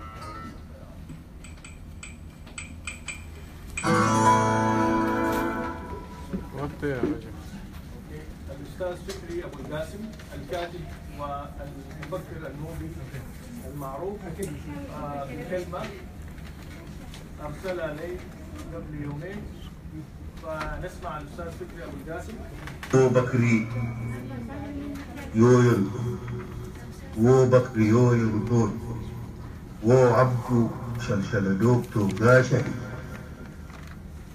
wo abdu shalshaladok to gashahi akkili katollo ne ingiliznir kilkiro wo bakri yoyon to akkili katollo ne ine ne ine lidiro nuba gaga tacin ne da yarin kiro nuba gaga karin ne da yarin kiro ittinin na ga fayin ne shorti falo ittinin na ga fayin ne shorti falo koffare gaga kabrun ne sifayin falo sifayin falo wo bakri bakri طباع عبد الحليم صباح. الدكتور عبد الحليم صباح. هذا الاسم المترع بالعروبة كتلة أشواك اسمها النوبية. أضفت آلاف يتفاخرون بانتمائهم للنوبة ومئات من الباحثين ولكن لم أجد أحدا بمثل صبار يتباهى بانتمائه للنوبية. فيا أيتها الأجيال الجديدة في السودان وفي المنطقة النوبية تعلموا من هذا الراهب النوبي عشق الأرض واللغة والتراث. دعونا نقف على هذا العشق وصورته دون كل العناوين. من عجائب ارتباطه باللغة النوبية أنه أحب كل اللغات التي تكلم بها. كان محبا للغة العربية أيضا. عندما لاحظت أنه يحتفظ في مكتبته بكم هائل من قوانين من دواوين الشعر العربي وخاصة شعر النقائد شعر أمثال الفرزدق وجرير سألته أين أين الكتب النوبية؟ أجاب أنها في صندوق آخر. لم أنتظر منه أكثر من هذه الإجابة لأنني أعلم أن أنه ليس في حاجة ليقرأ النوبية يعيشها ويتنفسها في كل لحظات حياته. ومن عجائب إطباقه بالنوبية أيضا أنه كان يتباهى بها في فترة تاريخية عقيبة انتشرت فيها نفسيات الذات والهروب من الهوية النوبية نتيجة لضغط الثقافة العربية. كانوا يخجل يخجل يتكلم يخجل يعلم أبنائه. وما زالوا لا تنسوا أن هناك فئة كبيرة لا يستهان بها يستحيون من أن يتكلم أبنائهم لغتهم الأم. ووجدت من بينهم أناس يتفاخرون بنوبيتهم في التجمعات خارج خارج دائرة الأسرة فقط. وهذا الموقف الغريب يجب مواجهته. تحت عنوان معالجة الذات بدون هروب بالإنكار هذا التباهي لدى صبار لم يكن فقط في دائرة الدراسات اللغوية والنشاطات الاجتماعية بل كان في التعامل مع مفردات اللغة النوبية نفسها. كان يختار مفرداته من المعين الصافي للغة النوبية ويمد لسانه بلغة الحبوبات. ومعلوم أن الحبوبة والأمة النوبية عامة هي الحاضن الرئيسي للتراث القديم والحالي المتجدد. في كل شيء. وهذا أمر أشار إليه الفنان النوبي الكبير رحمه الله محمد وردي حين حكى أنه اشتغى لغته النوبية وهو شاعر من حبوبات. لا أريد أن أطيل عليكم اصبروا علي شوية. قد فتحتم في أعماق إصلاحات لا بد من التعبير عنها. الأغرب من كل هذا كان صبار يقدم عمل عجيب آخر وهو إعادة صياغة المفردات اللغوية الوافدة طبقا للصورة النوبية. حتى أن المتلقي يحتار هل هذه المفردة عربية أم نوبية؟ ولو استمعت إلى كل أحاديثه العفوية لا تستطيع أن تفرز ما بين العربية والنوبية. وهو بالمناسبة لم يكن صاحب لكنة إذا تحدث بالنوبية. مثلا إذا تلفظ بكلمة خلاص العربية وهو يقصد نفس المعنى يلفظها هكذا الآتي لي الآتي لي الآتي لي وهو يتابع حديثه بأدب جم مرددا الإيجاب من وقت لآخر يصبر. يعبر عن مواقفه بكلمة نوبية. أي أي أي والمفردة في الأصل عربية قريبة من معنى أي والله. يا صحابي لم يكن هذا اللغم من إبداعاته بل انتزع من صميم الخصوصية النوبية وهي إعادة إنتاج المستورد التغافل ومعلوم بأن هذه الخصوصية هي سبب قيام حضارة نوبية في بيئة قاسية عصية وناقشنا من قبل. هذا السؤال كيف قامت الحضارة النوبية هذا الجحيم الصحراوي أذكر أنني ذكرت هناك أن الحضارة النوبية أدواتها ليست محلية بل هي مستوردة. ولكن تم تشكيلها طبقا للمزاج النوبي أي أنها حضارة ترانزيت. حضارة ممر. هذه الخصوصية والتفرد سببها هذا الحس الحضاري المستمد المستمد من تغليف حضارة البحر الأبيض المتوسط القادمة إلى أوروبا طبقا للمزاج المحلي. لهذا عمليات التصدير لن تجد سوى النوبية هكذا كان صبار رحمه الله مع التراث المحلي وله يعيش عليه ويعمل من أجله. اللغة النوبية التي تعاني الاندثار وتقاوم الإبادة كانت عند صبار لغة عالمية ببعض الرتوش والاهتمام فقط يمكن أن يتحدث بها الملايين. لهذا كان صادقا في بها سامحوني كما كان يقول صبار إذا أطلق عليكم. فقط دعوني في عجالة أبحث معكم في جذور هذا العشق وعن البيئة الاجتماعية التي أفرزت صاحبة عباد ظاهرة صبار. معلوم أن ثقافة الإنسان بيئته وعصره والثقافة تراكمية ليس من السهل تشتيت جذورها ولكن يمكن أن أن نختار مجرد محطات وعناوين عامة عن بيئة الصبار لا أعرف تفاصيل طفولته ولكن من قراءتي تجربته أنه ارتبط بأمه ارتباطا شديدا وقد كان دائما يستشهد بعباراتها. وأنا أوثق لقرى كما الحلفة وجدته سعيدا. وهو يسرد لي أحياء قرى إسكيت كان هذا الناشر اليومي فكرة الجاسم من حلفة متحدثا عن الفريق دكتور صباح And next, um, okay, um, I guess to continue the program, we'd like to stop for a minute and read another poem, a really relevant one called The Lost Leader, to kind of remember uh, Dr. Sabar as a leader that will be dearly missed. Um, and this is by Robert Browning. Just for a handful of silver, he left us. Just for a ribbon to stick in his coat. Found the one gift of which fortune bereft us. Lost all the others, she left us devote. They with the gold to give, doled him out silver.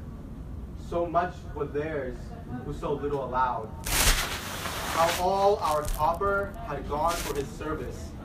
Rags were they purple, his heart had been proud.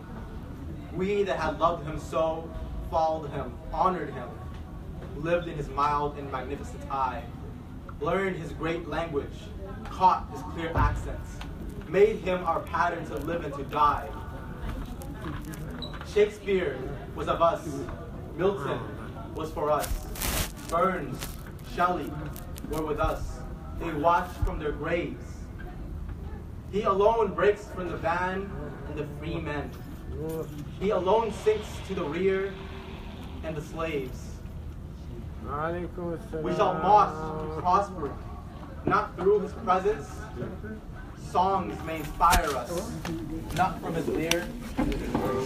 Deeds will be done while he boasts his puissance. Still bidding out whom the rest may aspire. Blot out his name then. Record one last soul more. One task more declined. One more footpath untrod. One more devil's triumph and, and sorrow for angels. One wrong more to man. One more insult to God. Life's night begins. Let him never come back to us. There would be doubt, hesitation, and pain. Forced praise on our part, the glimmer of twilight. Never glad, confidence morning again. Best fight on well, for we taught him, strike gallantly. Menace our heart, ere we master his own. Then let him receive the new knowledge and wait us. Pardoned in heaven, the first by the throne. Thank you. And next, and next we'd like to uh, get a speaker from the United Kingdom, uh, a message from the New Visit United Kingdom. Um, uh, will be played by Brother Nudin.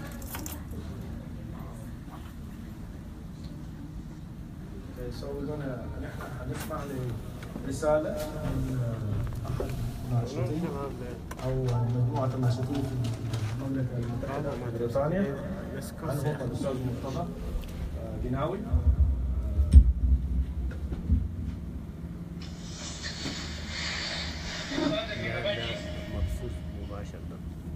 بس مباشرة. صباحكم هي مثل الآن دقا يعني نورنا اليوم.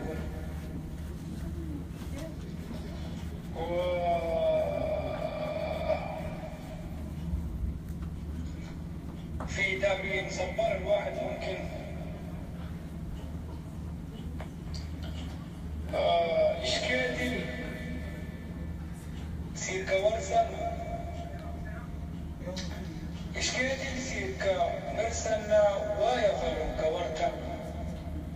سير كمرسنا ويا غير كورتا Shangirina nga tilakada winida nga ainda ukenira nga shurtikire nga kirena. Irkimartigas marro iba shintun bila sokko sabari. Irkinuru makida kan mashatam qabila kukun idin kam ayuki tuja kinta kajarin ko sema muhim mashandiu ila gullo. والركوع جاء دافي تنك السكن جبل سكن بحر سنون أول كاجون أيضا لا دتو مسكور وهكر فارك يسكو ولا مشدنا ممكن ما نمنا لدي مسكو مرحوم صبار واللي كيكوي نوغرين لنا فرتيفاو داركين إلا ذاك الدار. نور كواين نامل لدو توكن ليس و أول كده كوني حي الشباب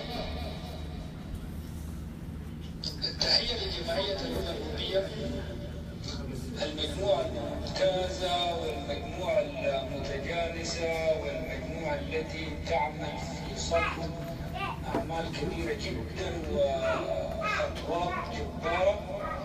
يعني هم ماشيين وبنصفق لهم كثير وكثير وبنحييهم لأنهم هم ال- ال- ال- أصحاب الفكرة.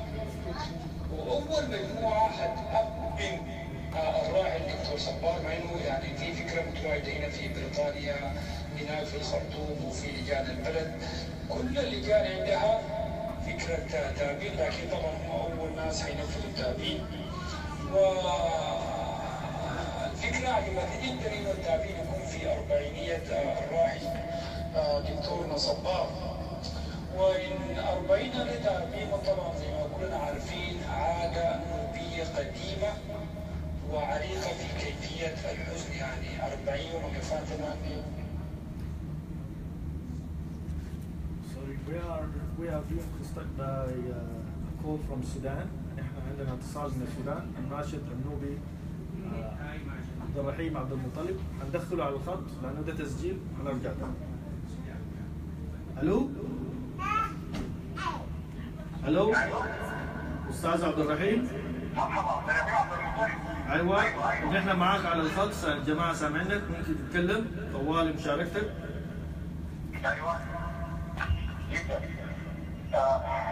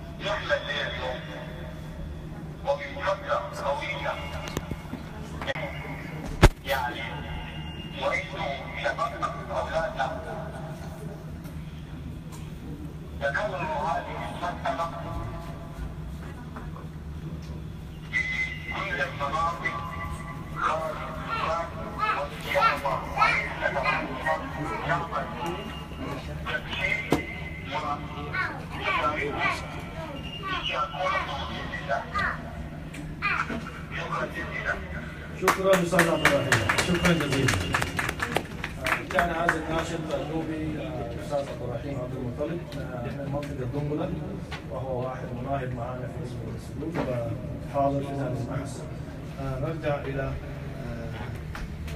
إلى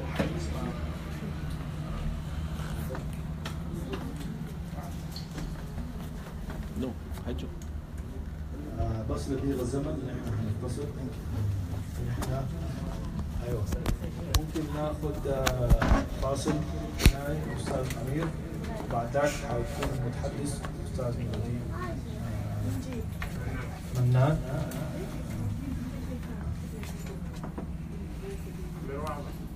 Tchau, Zamir. Tá bom?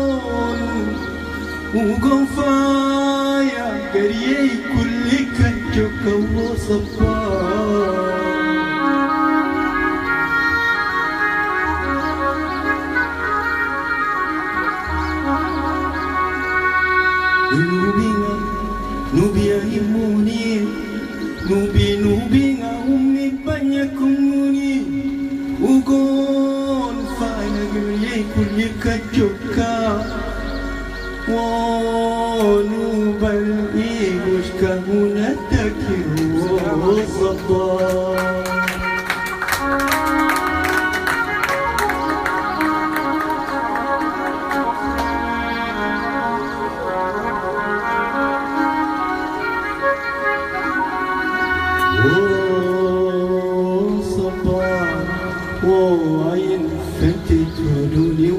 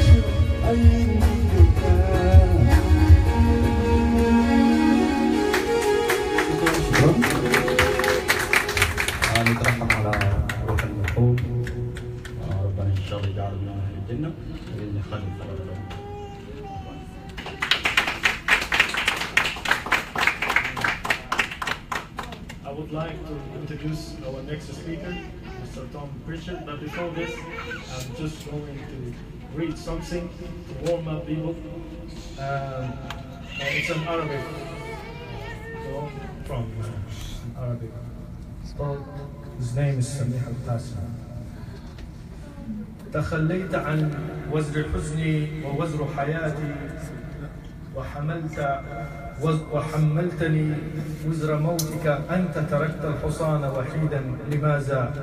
وأثرت صهوة موتك أفقا وأسرت حزني ملازا أجبني لماذا؟ عصافيرنا يا صديقي تطير بلا أجنحة وأحلامنا يا رفيقي تطير بلا مروحة تطير على شرك الماء والنار والنار والماء. ما من مكان تحط عليه سوى المسبحة وتنسى مناقيرها من تراب القبور الجماعية. الحب والحب أرض محرمة يا صديقي وتنفرط المسبحة والخوف والموت في الخوف والأمن في الموت لا أمن من مجلس الأمن يا صاحبي مجلس الأمن أرض محايدة يا رفيقي ونحن عذاب الدروب وسخط الجهات ونحن غبار الشعوب وعجز اللغات وبعض الصلاة وما يتاح من الأضرحة Mr. Noben Tom, Mr. Tom Richard, please come in.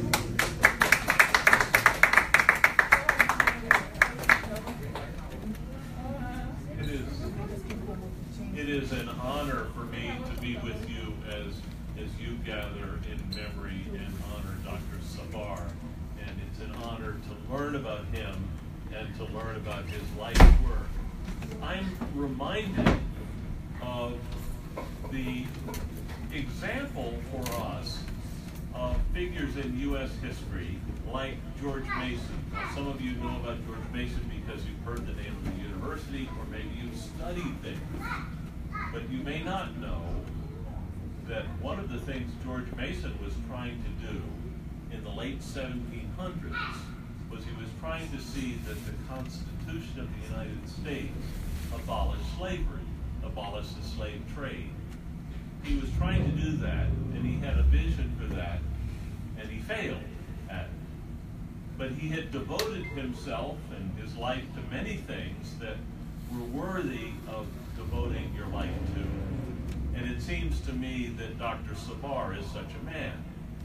That he had vision that was looking ahead and looking for justice, a better future for the Nubian people, a future that would include uh, stopping this cultural genocide and recovering the heritage and language and culture of Nubian people and prosperity for Nubian people.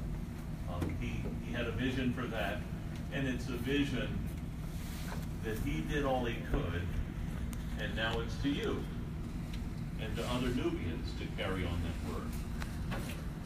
That, and there are so many examples of people who didn't, they were so visionary, they didn't live to see their visions brought about. Dr. Martin Luther King Jr. dream um, lived out, and it's still being fulfilled, but we saw something of its fulfillment when we had an African American president.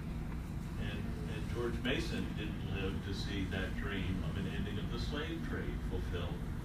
Um, it took a terrible war to do that. Clearly, Dr. Sabar was one with the vision of things that were worthy goals, that were worthy for many people to gather to towards fulfilling these visions. And may you all, or maybe the young people here, live to see those visions fulfilled.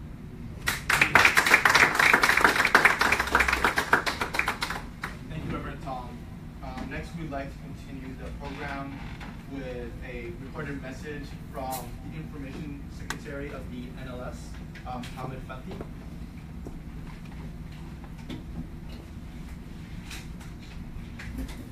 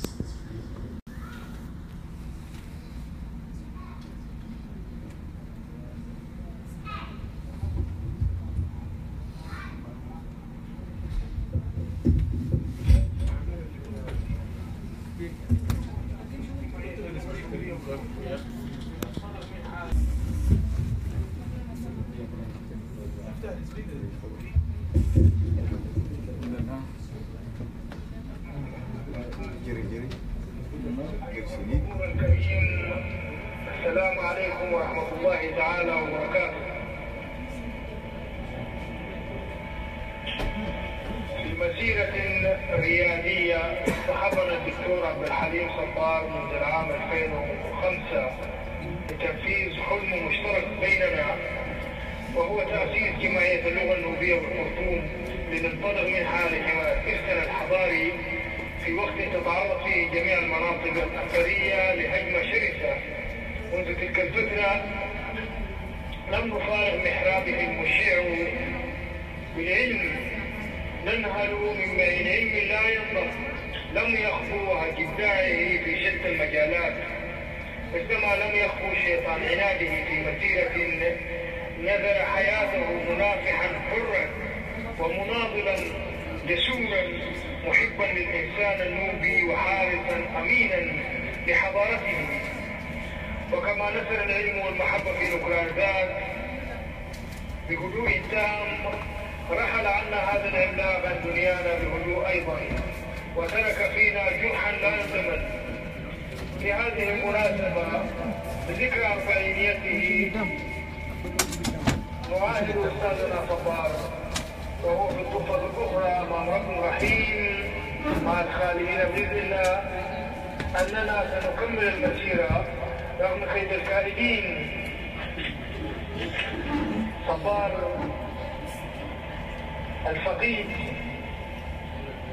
كان كلما دخلنا عالمه المبدع احسسنا بان هنالك تعبيرا عن قناعه اللسان العميقه يغلقه ويعذبه ويحفزه في محاولات لا تنتهي الذكرى الحلم الذوق إلى المستقبل كلها رفاقه كلها كانت رفاقه وتلهمه كان ملتقى هو الماضي بالقوة التي ستأتي كلها في الأمة النوبية من تراكمات غير واعية.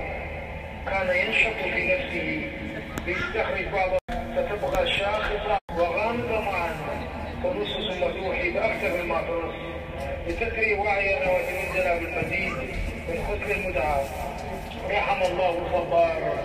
رحم الله دكتورنا صبار مع الخالدين بإذن الله. ونواحدك أننا سنكمل المسيرة. سنكمل المسيرة. رغم كيد الكائدين.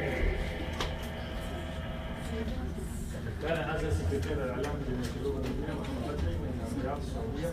والآن مع فيلمه في الأستاذ المناضل الثوري وتدوين ملمان. ولكن نسمع لقراءة قصيرة شعرية باللغة الإنجليزية ابن سامي. So I'd like to read a short poem about the importance of being an activist like Gordon Rothstein and why it's important to fight for freedoms and continue to do so for every one of us. And this is a poem called Freedom by Amber Rose Beers. Freedom, as every schoolboy knows, one streak has caustic fell. on every wind indeed that blows, I hear her yell. She screams whenever monarchs meet, and parliaments as well, to bind the chains about her feet and toll her kneel. And when the sovereign people cast the votes they cannot spell, under the pestilential blast, her clamors swell. For all to whom the power is given, to sway or to compel, among themselves apportion heaven and give her hell. Thank you, and Brother Nuruddin, uh, let me just say, say, say a few words um, about Dr. Saban.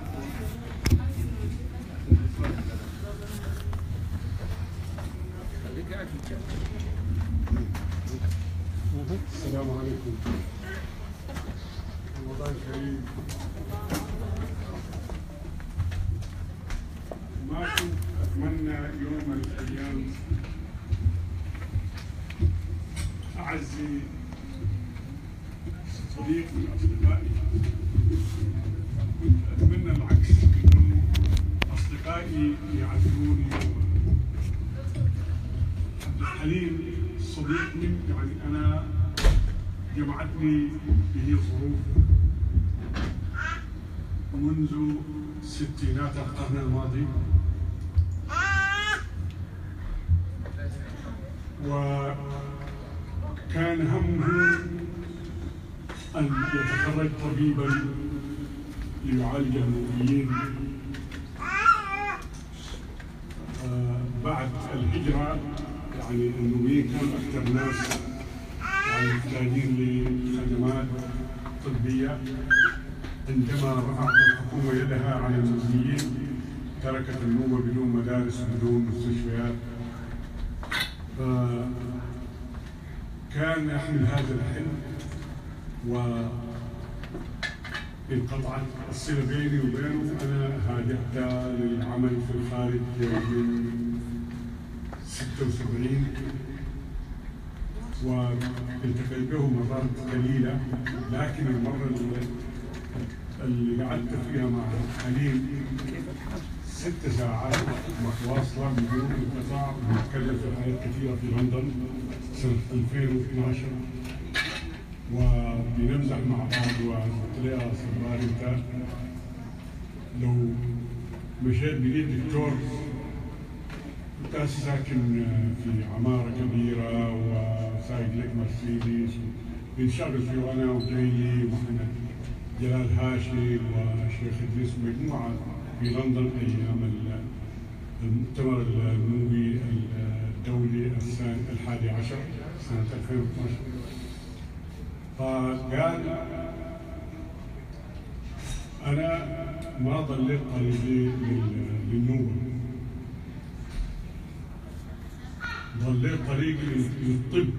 واكتشفت إنه أنا لا اصلح من الطب والنوبه يدخل فيها سوس كبير اسمه العروبه والإسلام السياسي. فقال حسبوا كل الناس يخلوا يهموا بس يشتغلوا في النوبة والمفتاح اللغة النوبية المدخل لمقاومة النظام ومقاومه التعريب وال- والتطرف لإعادة النوبة لوجهها الأول؟ من باب اللغة النوبية. أنا في الحقيقة شجعت يعني رغم إن ده كان هم يعني يساورني من زمن طويل. فكلمت إن أنا شغال في في مشروع صغير كده لكتاب لكن ما لاقي وقت. قال لي خلي اي حاجة بس اشتغل في في اللغة قلت له إن شاء الله يعني أنت ومحمد جلال هاشم ومكي وعاوزين نكون آه، مجمع للغة النوبيه عشان اللغة اللي جات محيه لحد الآن مسؤوليتنا انه نحن نحافظ عليها عشان نقاوم التعريب والتطهير الثقافي. وبقت في اتصالات بيني وبينه ومجموعة لندن فترة طويلة. ولما انتهيت من المسودة بتاعت الكتاب قلت له أنا اطلب منك طلب بسيط بس تكتب لي يعني شهادة. يعني إنه كل كل واحد فينا يشجع الثاني. قلت له مهم جدا لأنه إذا نحن ما بقينا نسند بعض. حنتفرق و الأخطر حاجة إنه ما نعترف بإبداع الآخرين الأمريكان والأوروبيين. أي إنسان يعمل عمل بسيط يشيلوا له مش يكسروه دي مصيبة يعني وسط النوبيين إنه نحن لا نحرس أي إبداع. وما نشجع نحن المفروض نشجع الأطفال الشباب الصغار ديل المبدعين ديلا عشان يطلعوا عباقرة نحن ما لقينا تشجيع شجعنا نفسنا.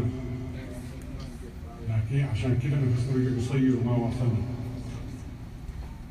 عبد الحليم صبار اللي ما ضل طريقه من الطب إلى اللغة النوريه بل اكتشف نفسه بعد ما دخل في ال- هو هو مناسب من أوائل الناس اللي في الكلاكلا وفي مراكز النوبيين في في بوهين وفي آه النادي النوبي.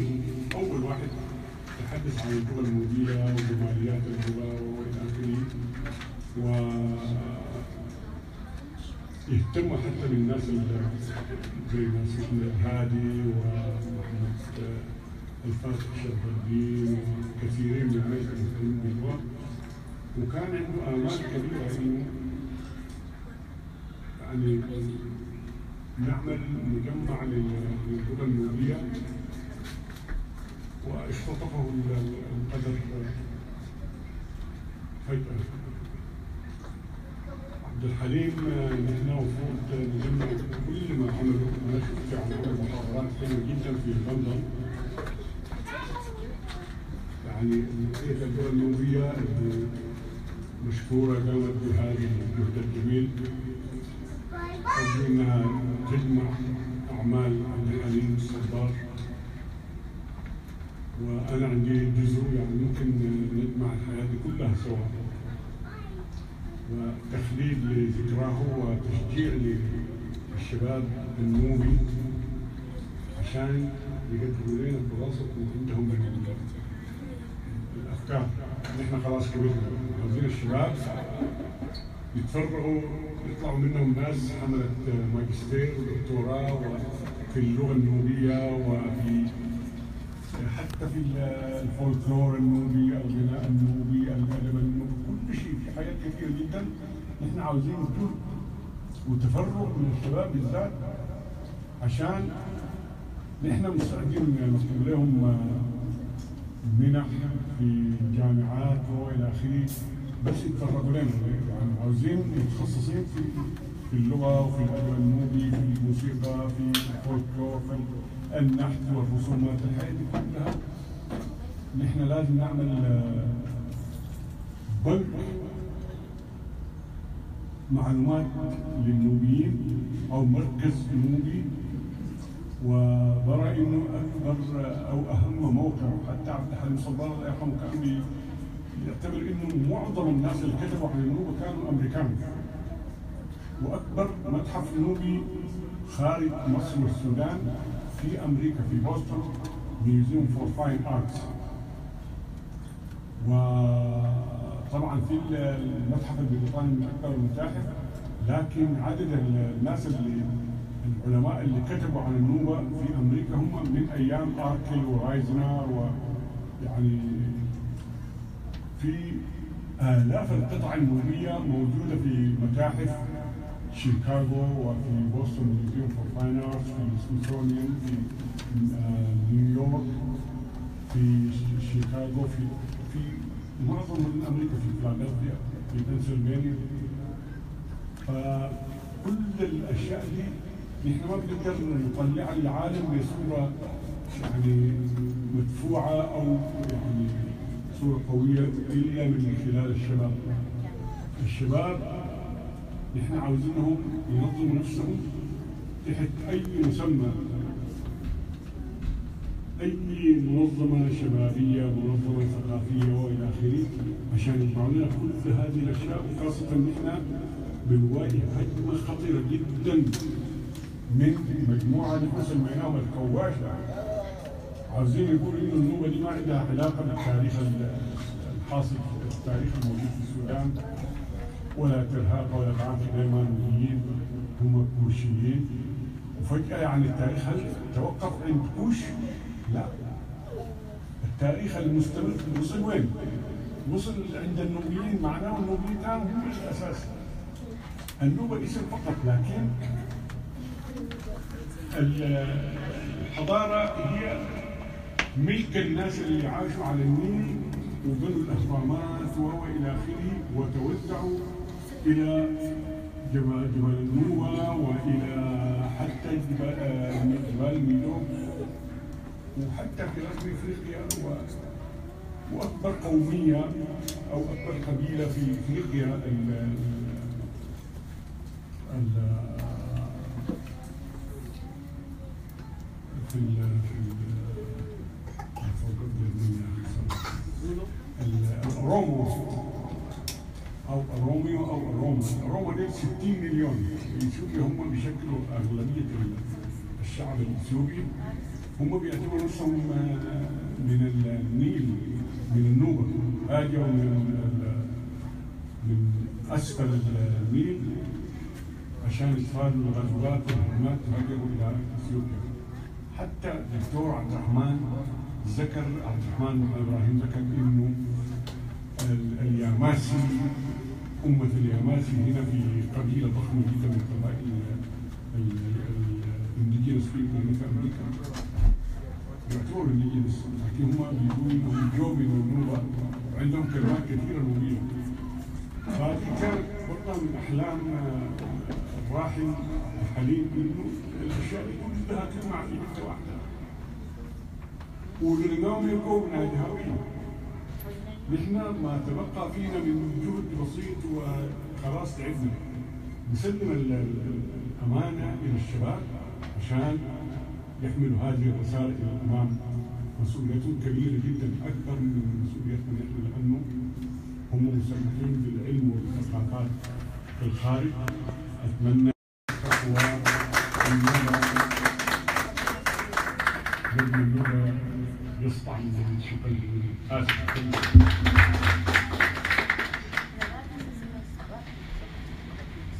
Thank you, Brother Nuruddin. Uh, next, uh, let's continue the program with a few words from uh, Abdul Babatir, uh, Blue Nile Regional Representative, and finish off afterwards with uh, a few words from Mr. Tantamun or Nubian Necklace. في كلمات قصيرة الأستاذ عبد الله بكر من النيل الأزرق تمام اخباري كيف؟ الحمد لله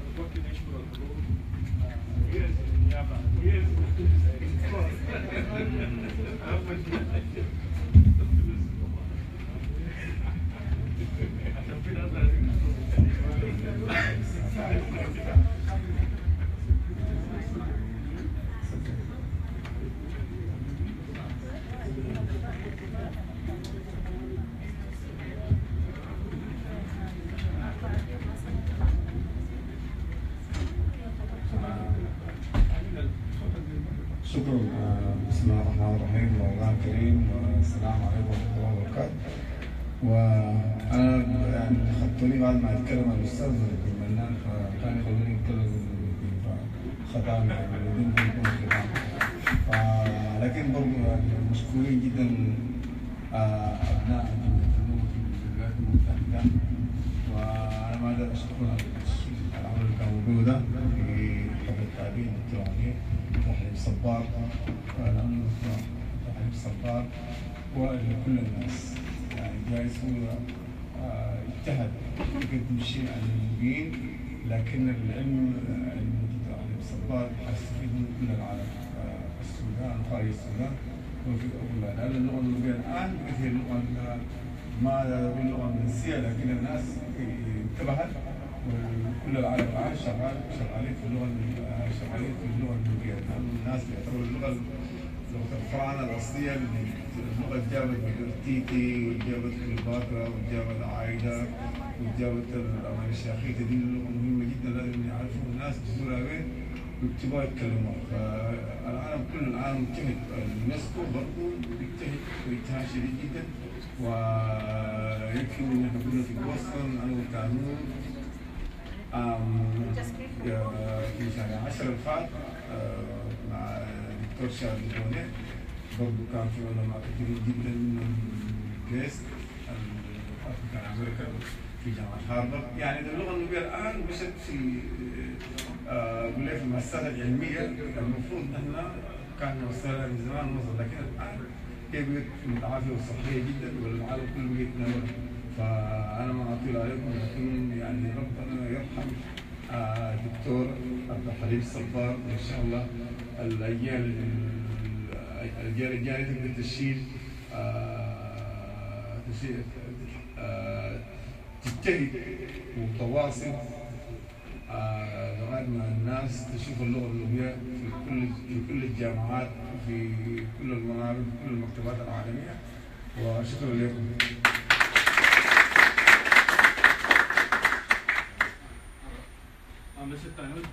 Can you please come in and give some final statements?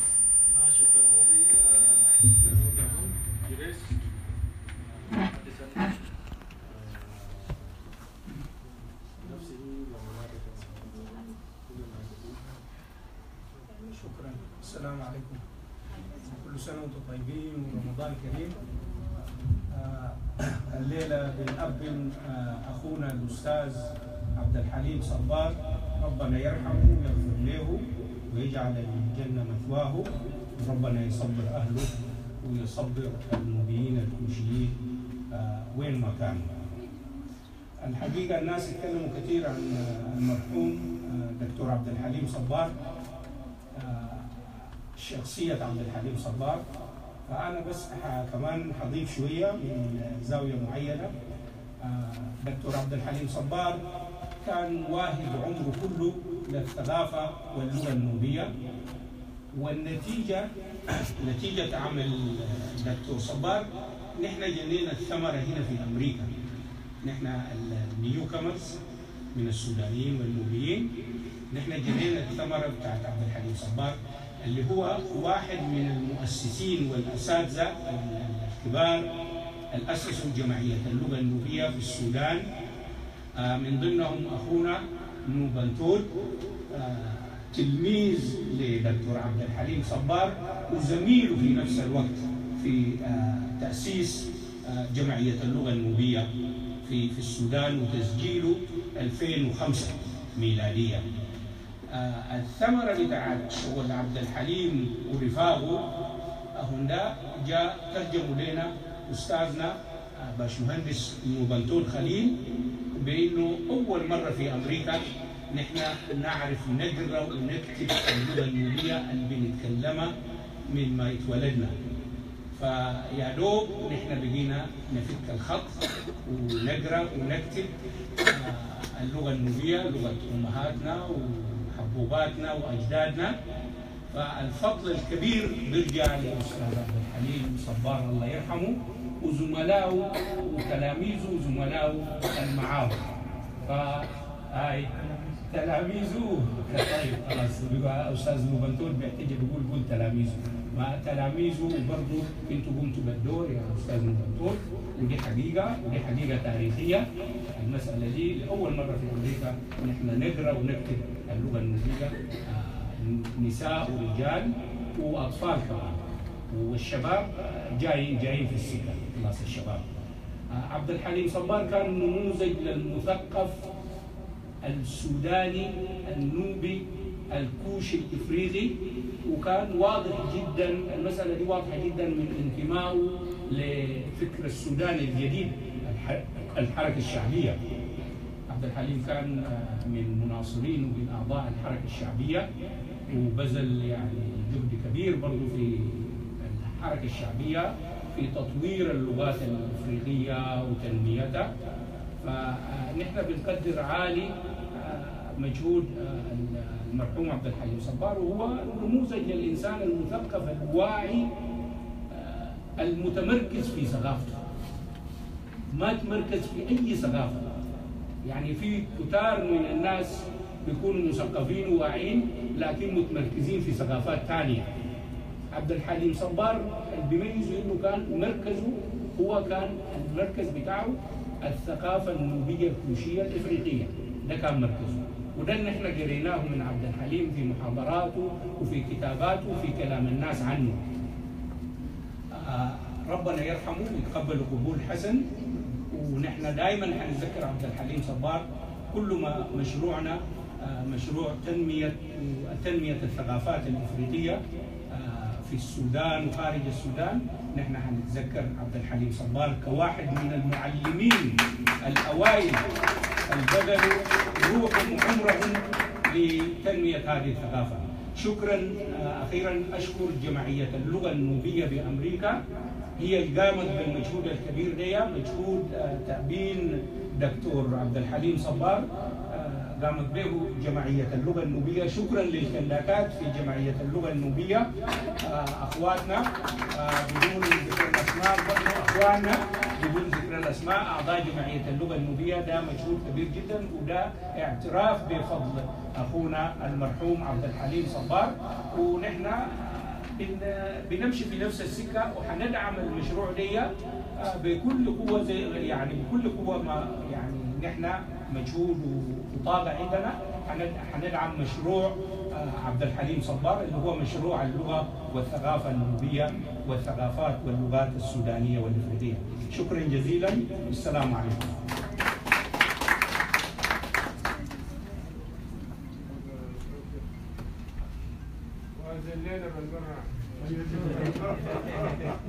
المعلم كان المعلم أن يكون رسولا كلكم ما طبعا أستاذة لكن هو رسول وعلمنا اللغة. فما أقل ما ممكن نعمله إنه نتذكر ونعمل له اونر يعني. فنشكر الحضور. آه، الأول نشكر الدكتور الجزء الشريف اللي عمله طبعا و الاستاذ صاحب برضه جدا التقديم ما شاء الله. الله يعني آه، فيكون ونشكر الحضور وإن شاء الله تنجوي الفطار بعد نص ساعه لا نؤمن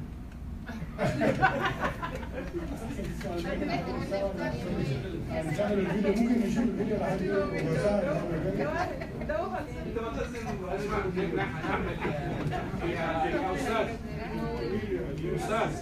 هنرجع الصالة للإفطار زي ما كان. أيوه أيوه إحنا في شغل يا اخوانا هاي لو قمتوا نحن عشان نخط الترابيز عشان تفطروا هنا. هاي دايرين يلا سريع سريع. الشباب الشباب أنقلوا حطوا كراسي البلاستيك دي فوق بعض وهنحطها بهناك. كل كراسي البلاستيك تقعد فوق بعض. كل كراسي البلاستيك كده فوق بعض. بعدين أمير أنت واصل أمير موتك. أمير أنت واصل واصل واصل واصل الملعب رمضان ده شكرا جزيلا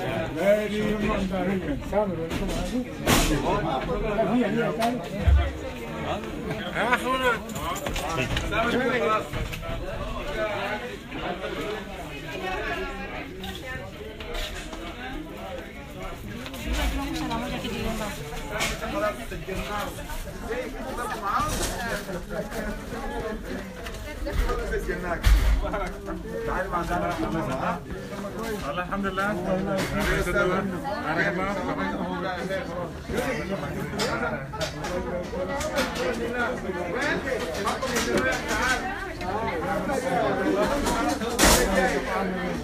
يا شباب يا اخوانا ساعدونا في في تنظيم الهناي عليكم السلام